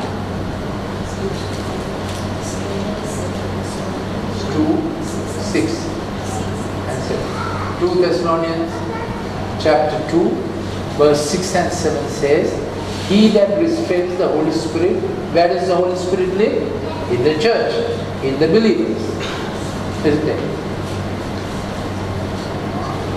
Now here where the church has gone, chapter 7 verse 9. Can we have the microphone? Phil will you take the microphone and read?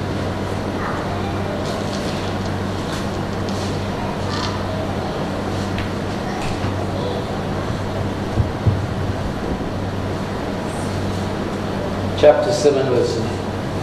After this I looked, and behold, a great multitude that no one could number from every nation, from all tribes and peoples and languages, standing before the throne and before the Lamb, clothed in white robes, with palm branches in their hands. crying out. And crying out with a loud voice, Salvation belongs to our God who sits on the throne and to the Lamb. And all the angels were standing around the throne and around the elders and the four living creatures.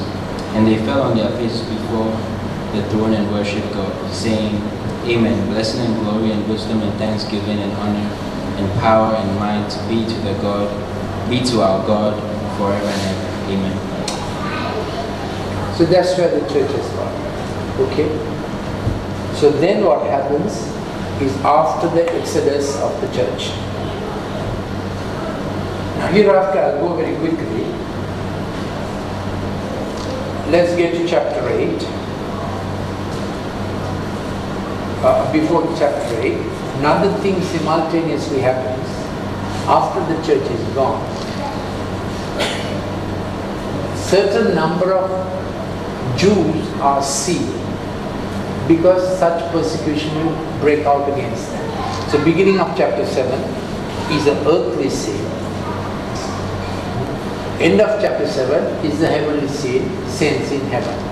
But beginning of chapter 7, sealing Israel, 12,000 from every tribe. Why? So that their lives will not be hurt.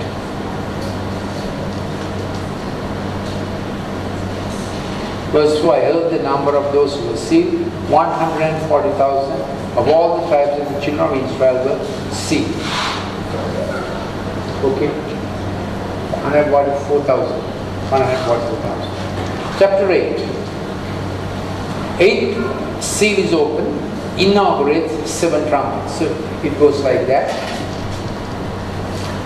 There were seals 1 to 6 seals. Seventh seal opens 1, 2, 3, 4, 5, 6, 7 trumpets. Seven trumpets open the seven bowls. Se- effect of what happens with seven trumpets is worldwide. Effects of what happens with the bowls is on the kingdom of the beast. Before I finish, I want to explain to you Revelation chapter 13, which gives you a picture of what happens in governments and nations. Revelation 8, I only want to get your attention to is this literal or is this allegorical? Okay? Trumpet 1. Shall we say trumpet 1? Another angel having a golden censer came, uh, seventh seal, uh, uh, seventh seal, okay. Uh, number seven, uh, verse seven, the trumpet, uh, trumpet one. First angel sounded, hail and fire followed, mingled with blood, and they were thrown to the earth. And a third of the trees were burned, and all green grass was burned. little like the plagues of Egypt. Agree? Uh, hail can be natural, fire can be natural, but this mingled with blood is not natural, isn't it? So that doesn't have a natural explanation. Agree? But the effect is very literal. Third of the trees were burnt. Green grass is burnt. Everybody say one third. What did first trumpet do? One third vegetation. Second trumpet, verse 8. Something like a great mountain burning with fire was thrown into the sea. Third of the sea became blood. Third of the living creatures in the sea died, and third of the ships were destroyed. Now, destruction is very physical and literal. Uh, the agent, a great mountain burning with fire, was thrown into the sea. Can it, now, if it's some huge volcanic mountain burning, it could be like that, isn't it? So we really don't know what this agent is, but effect is very literal and physical.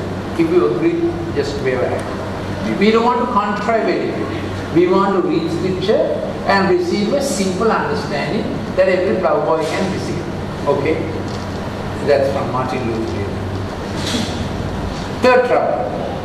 A great star fell from heaven, burning like a torch. It fell on a third of the rivers and on the springs of water. Now, agent can't be can't be natural, isn't it? What is this star? And how did it how did it select the one third of the rivers? Effect is that waters became bitter and poisonous. Those who drank it died. Aren't we, where are we now? When this is happening, where are we? Where are our relatives? Sorry about asking this again, only to say that we must, we must work on them because time is short. Uh, so you get the point, isn't it? So we can go, every trumpet we can go like this, uh, just to see whether the agent is natural, whether the effect is natural. So sometimes you find agent does not look natural, but the effect we can understand as very terrestrial, in very natural terms we can understand. One third of the drinking sources went bad. Okay? So I'm skipping rest of the trumpets where we have understood the principle. And I like to take you to 13.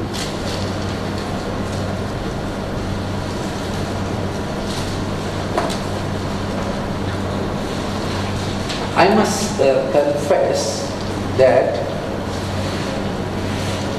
or I have to tell you, chapter 12 is a completely heavenly scene. But I want you to get chapter 13 first. But it looks quite, it is important for you to understand chapter 13 to appreciate chapter 12. That's why I want to look at chapter 13 first. And as you know, chapter divisions were uh, done, done later. I want to read the last verse of chapter 12 to get the beginning of chapter 13. Okay? And the dragon was enraged with the woman. Ask your neighbor, who is this woman? Is it Angela Merkel? who is this woman? And, and he went to make war with the rest of her offspring who keep the commandments of God and have the testimony of Jesus Christ. So here I have to, uh, maybe I have to put this on you, that from chapter 12 onwards you get a second description of what we saw from another point of view. Because now again we find church is there. So this is, if we go sequentially from chapter 12, the story we have already covered is being covered again. Okay? So in verse 17 we find part of the woman is gone. And some other part of the woman is still on earth, keeping the commandments of God and having the testimony of Jesus Christ. Okay? Then I stood on the sand of the sea. That I is wrong in the KJV. It is he. ESV, NSB will have he. Uh, how many of you have NSB? No, not about the savings bank. NASB, American Standard, yes, New American Standard. ESV, NIV, he. Then he stood. Correct? 13.1, he. Okay? So if you have KJV or in King James, cut I and put he. He.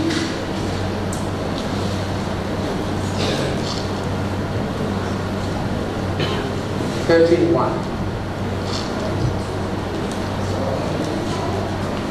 Then he stood on the sand of the sea. Uh, in that translation, it will be the end of 12. End of 12 another thing. If it is follow what you have in front of you.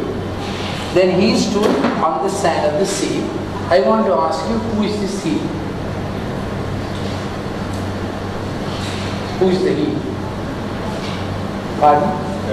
Very good.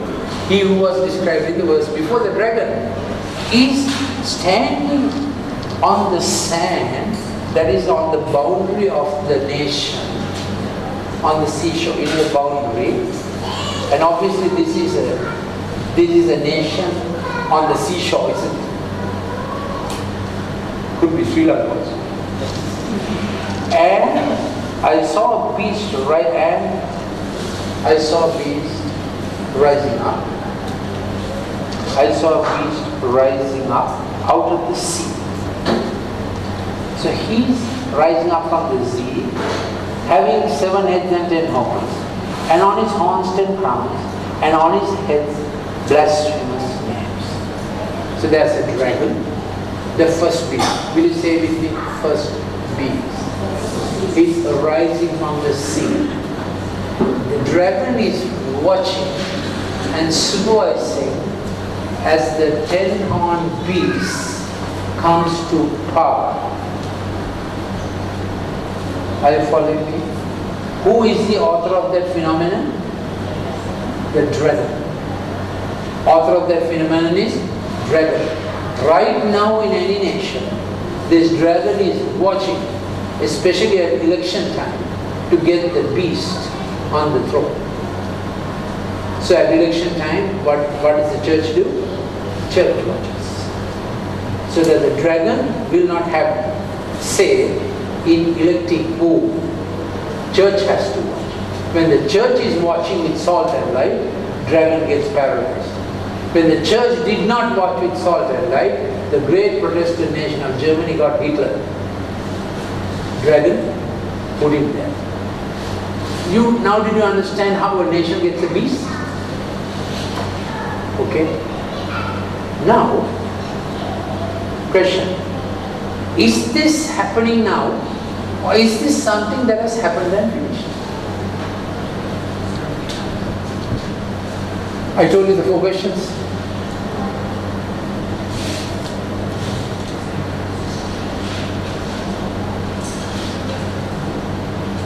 This is happening now because church is still here.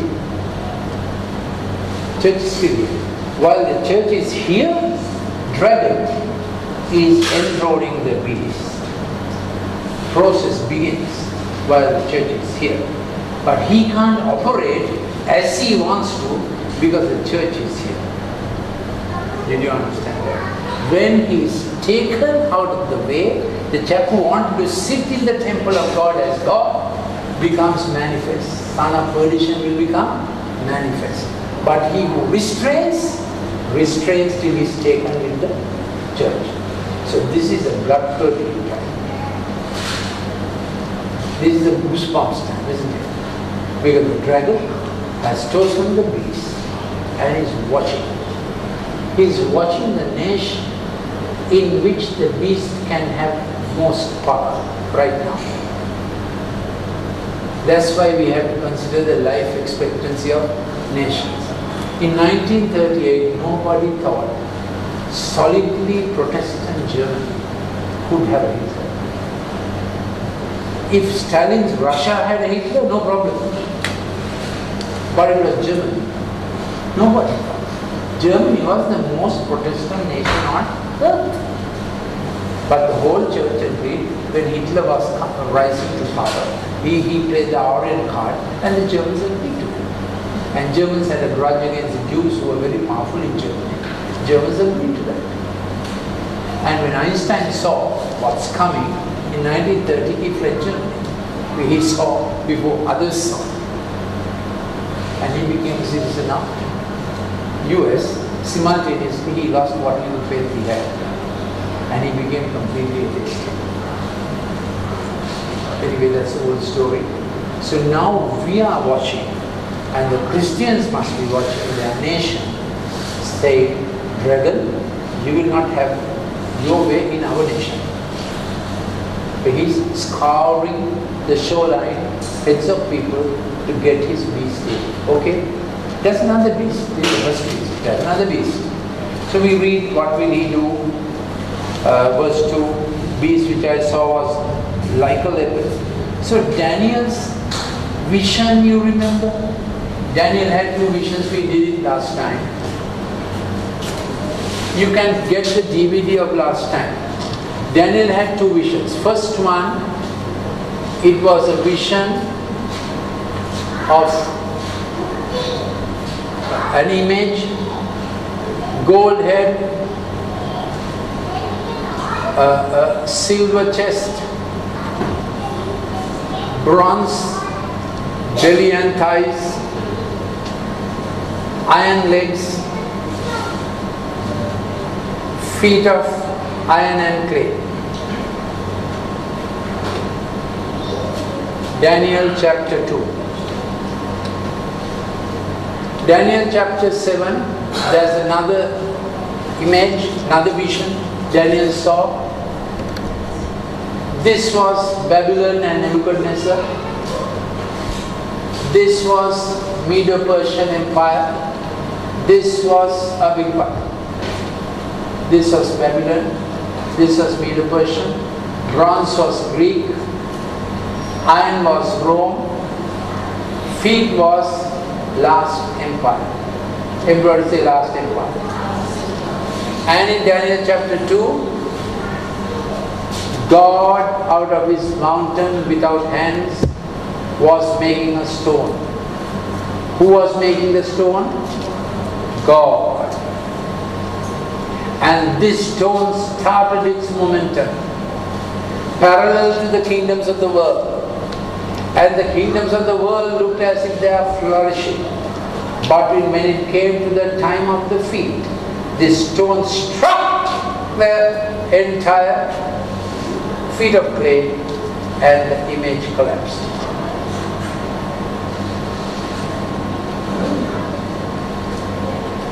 So we are waiting. All that is needed is feet of clay to be seen and this little stone to have enough momentum because it's little. Tell the neighbor stone is little. So it needs to have enough momentum to topple this monster. Say momentum wins. Zeal of the Lord wins. It's a David Goliath story? Small stone and a big Goliath. Who wins? Small stone. So church is this small stone, isn't it? When you look at the church, church looks small. But it's gathering God momentum. It's gathering God force. Okay? Now, Jesus is using, or Jesus is showing John, the image of Daniel, how it had worked out through the centuries. Next vision of Daniel had a lion, and the kingdoms were described as beasts. Who described it as beasts? Daniel. Amazing man Daniel was. Beast. He lived in 586 BC, probably died in before Cyrus died. Daniel die before Cyrus? I have a vague recollection he was there in the first year of Cyrus. He was there in the first year of Cyrus. He died in 547. Anyway, the Babylon was lion and Medo-Persian was bear. It came from behind and gave a bear hug. That's what happened to the Babylonian empire. Belshazzar was rejoicing, the finger came on the wall and wrote what? Mene, mene, tekel, upharsin. Weighed, measured, divided. Weighed, measured, found wanting, divided. That very night, Belshazzar died. Because he was feasting with the golden goblets of Jerusalem's temple. He was using to celebrate his gods. God took it personally. You must be careful, isn't it? Some things God takes personally. And that night, caput. How did they go caput? They stopped the Euphrates river flowing and entered through the dry river bed. Babylon's walls were so thick, seven chariots could go on, unassailable. But they crept in and they took the kingdom. Then came Alexander, he was like a leopard, very swift in his conquest. Then Daniel, okay? Daniel chapter 7. Then Daniel said, What is that beast? He did not know to describe it. It was a ten horned beast. In Daniel's time. Now the ten horned beast is coming up again in John's time. Okay? In Daniel's image, in Daniel's time, the ten horned beast had a small, little horn who had a big mouth and very cunning eyes. Is there a world ruler who has a big mouth and cunning eyes? I don't know. You, you have to watch his mouth when he's speaking. No, we, we, we don't know. Till Christ reveals, we don't know. So we can't we can't guess. Because till the church is taken away, we will not know the person, but the formation is on. Dragon is watching, beast is forming. Okay? That's that period. So getting back to John, Revelation chapter 13 2, the beast which I saw was like a leopard. His feet were like the feet of a bear, and his mouth like the mouth of a lion. The dragon gave him power, his throne, and great authority. So all the beasts of the kingdom that Daniel saw is rolled into one in this last beast. Maybe you haven't understood. I think our study is over really. Now you understood. All what has gone in the kingdoms are getting into this fellow. And we need a lot of strength. And Jesus thought his church will be strongest at this time. And Daniel was told, this is sealed till the end. Till that time comes, this can't be. Now do we understand Daniel? Today I don't have time to do Daniel 11 because we will we'll put too much into our head. But I think we have understood the progression of the book of Revelation. We have understood that we can understand. I think this is a good time to stop. Questions? Sir? Questions? Uh, I'm sorry I didn't refer to these things.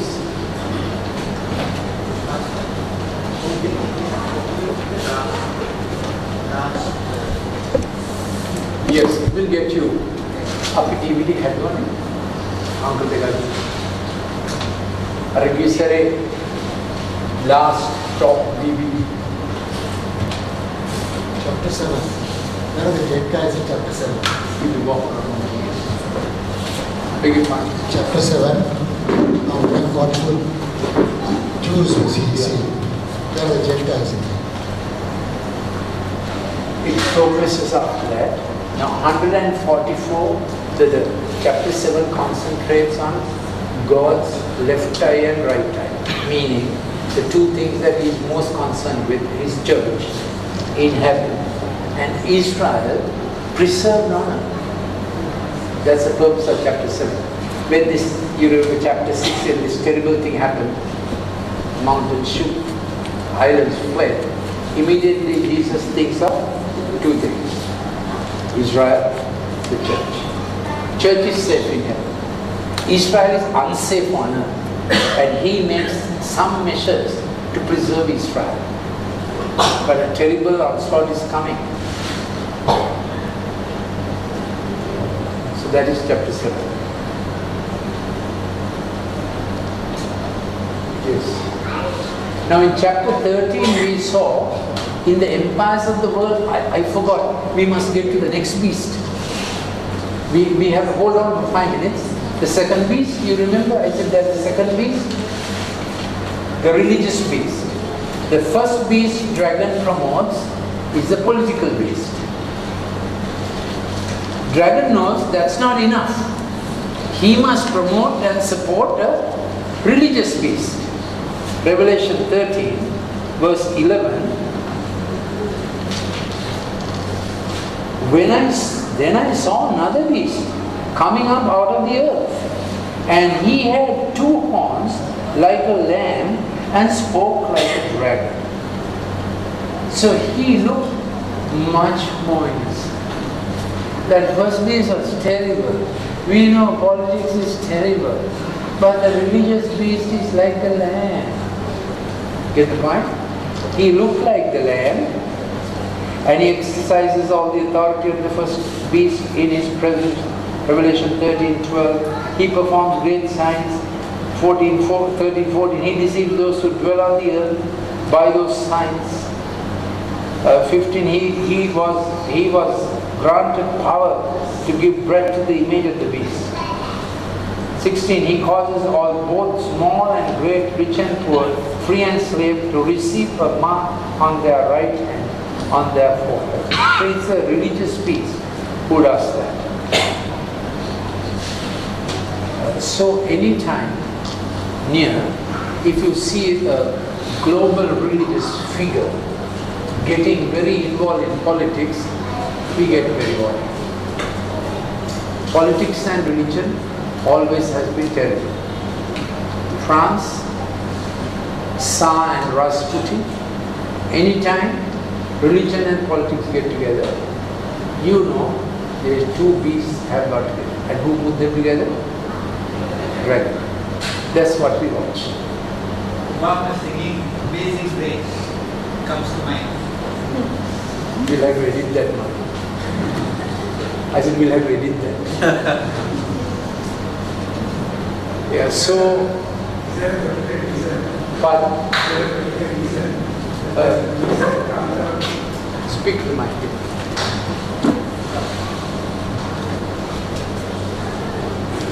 Blessed are they who came, blessed are those who came with their wife. More blessed are they who came with their wife. Okay. Is there a reason why the beast comes out of the sea is linked to politics and, the- and the beast that comes out of land on the earth Yeah. is linked to religion? The sea and Yeah. land have a This uh, significance. sea of people, uh, multitudes are referred to as the sea in Jeremiah. Peoples are referred to as uh, the sea in Jeremiah, in Daniel also.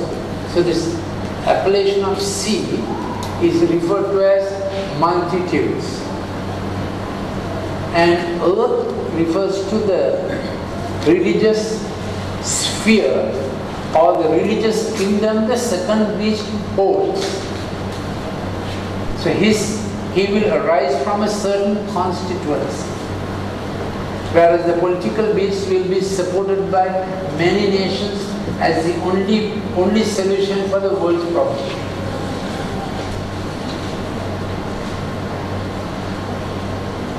Is that uh, the beginning of Revelation that the true picture Jesus Christ is first revealed before public is Yeah. Good you raised it. Obviously because he's so glorious, uh, he, he is in glory, isn't it? He is the King of Kings. Now whatever goes through in the book of Revelation, we see him glorious and lifted up. In Revelation chapter 10 also, maybe uh, while these bad things are described, the Lord reveals to John what's actually going to happen in Revelation chapter 10. There's an interlude of Revelation chapter 10, I saw still another mighty angel coming down from heaven clothed with a cloud and a rainbow was on his head. Praise God. Rainbow belongs to Jesus Christ. His face was like the sun and feet like pillars of fire. So if you want to have the rainbow on your Facebook profile, that's for Jesus Christ. But, but right now don't do that because but rainbow belongs to Jesus Christ. Uh, this is Christ. So John is given in between the trouble, terrible trouble, isn't it? By chapter 9 is terrible trouble, but John is given a view of uh, Christ. It, it's a scene in heaven. He had a little book open in his hand. He said, right foot on the sea, uh, put on the land, cried with a loud voice. Wait. So Christ is still king. And he's shown, showing John that in Revelation chapter 10, there's an interlude to show who is really King of Kings, while others act like kings. Again in Revelation chapter 4, there's another interlude to show that Christ is King. Again and again, while the destruction is being described, Christ's sovereignty as King of these people comes through strong display. That He comforts them, He keeps them safe, and is operating all the time between heaven and earth. One more question. So there won't be any more studies uh, till next year unless you demand one. Yes. Yes, Yes. Um, so the, you know about the stone, right? Which is the church. You said it's gathering momentum. Yes. So it say more about what the church should be doing as how is it gathering the momentum? Right now. Have, yeah. How is it doing it, or what should it be doing? Yes.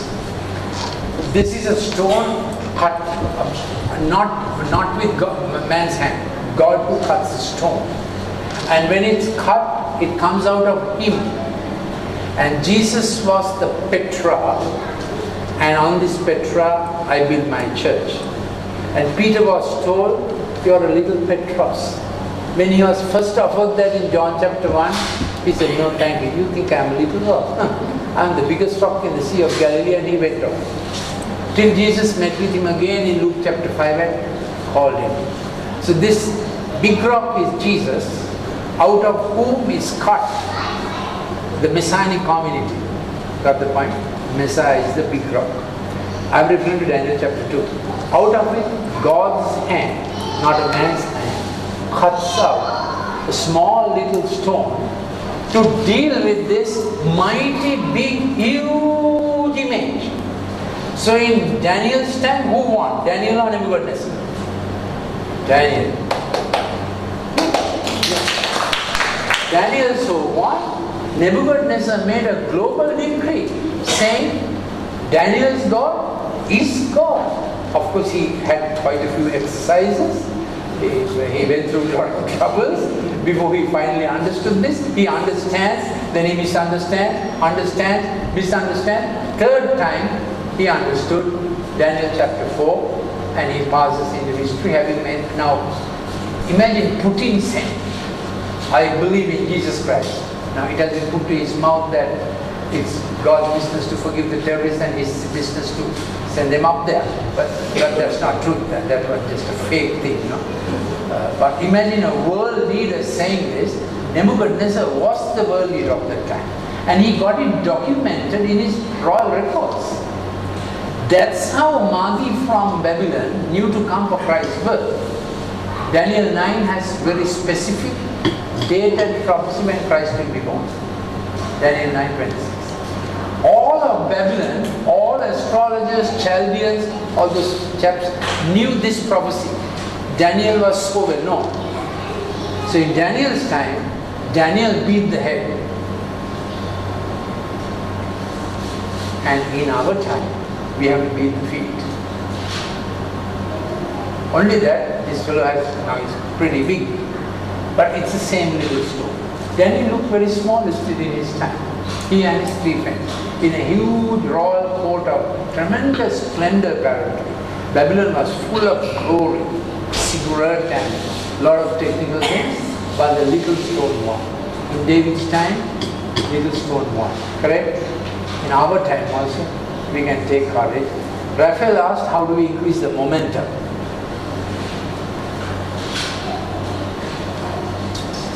Sunday is every week. and Christian is present on Sunday and hopefully a little early. And they come for a Bible study like this. Few other things Raphael. They think I'm telling them if I want. uh, of course, the pitch is that what Jesus has made. This is a real competition you have to understand. We have to work with the image, get our wealth out of the image, because Jesus translates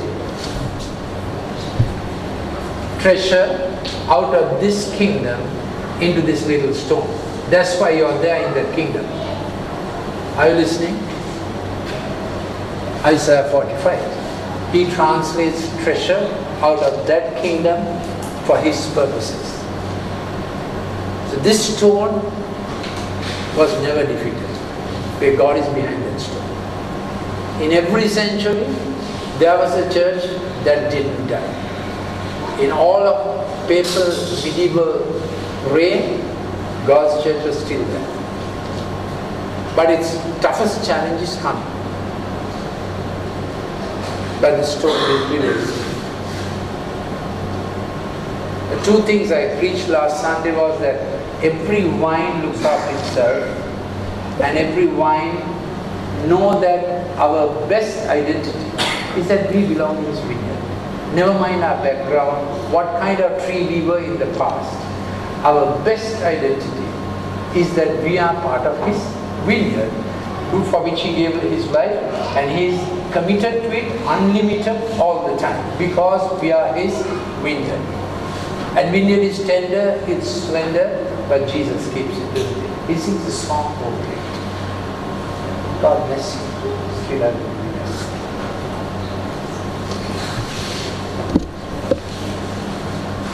Uh, this book is not people friendly, but it has all these details.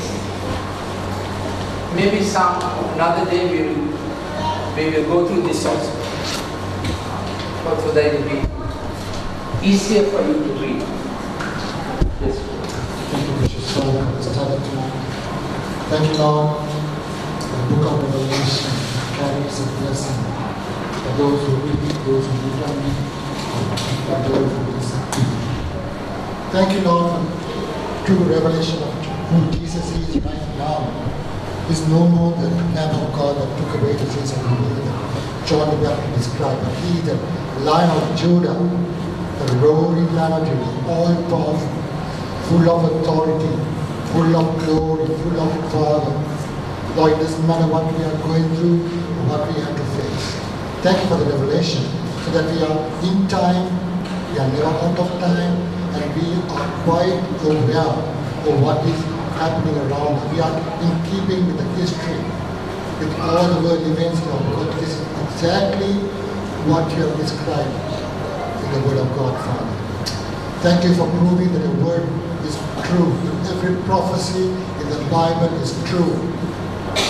Thank you, Father, that any circumstance, whatever challenges we have to face, Lord, all we got to do is look to Jesus, the true author and the perfecter of our faith. At the same time, Lord, to be aware of the beast, the cunningness, the quietness, and the, the falseness of the beast. He's, imitator. He just like to do and Lord create confusion among the believers.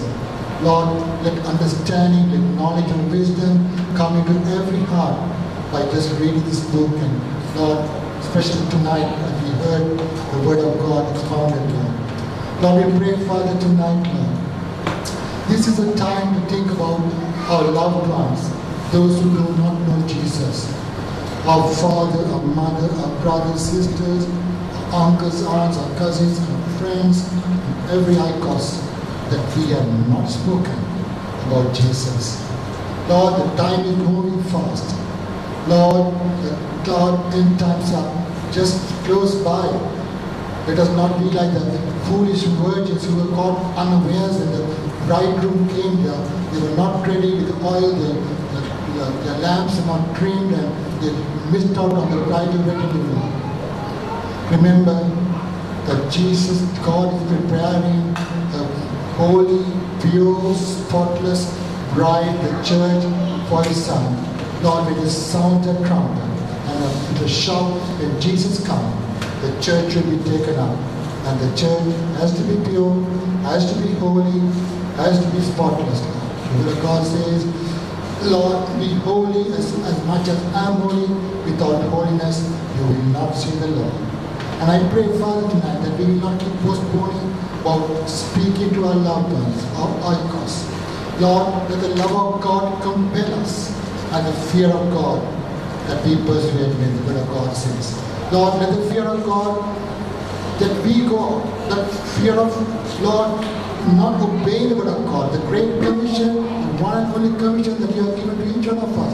Go into the world and preach the gospel to all mankind. Whoever will, whoever believes will be saved, whoever will not will be condemned. We don't want any one of our loved ones to be among the condemned. Lord, we want to, Lord, move them from flesh to the elect one. So many of our loved ones. We have been short shall speak. Lord, we have been postponing and postponing and postponing. This is the time. This is the time that the word of God will stir up the spirit within us. Lord, compel us, persuade us to go and do what we have to do, to obey the Great Commission. Lord, we want to thank you, Father, for tonight, for Brother Lalith, for explaining to us so simply and bringing urgency into our hearts, Father. So, Lord, we thank you that we will go home and once again read to the Word of God. We will meditate on it not only meditate, but we will act on it. In Jesus'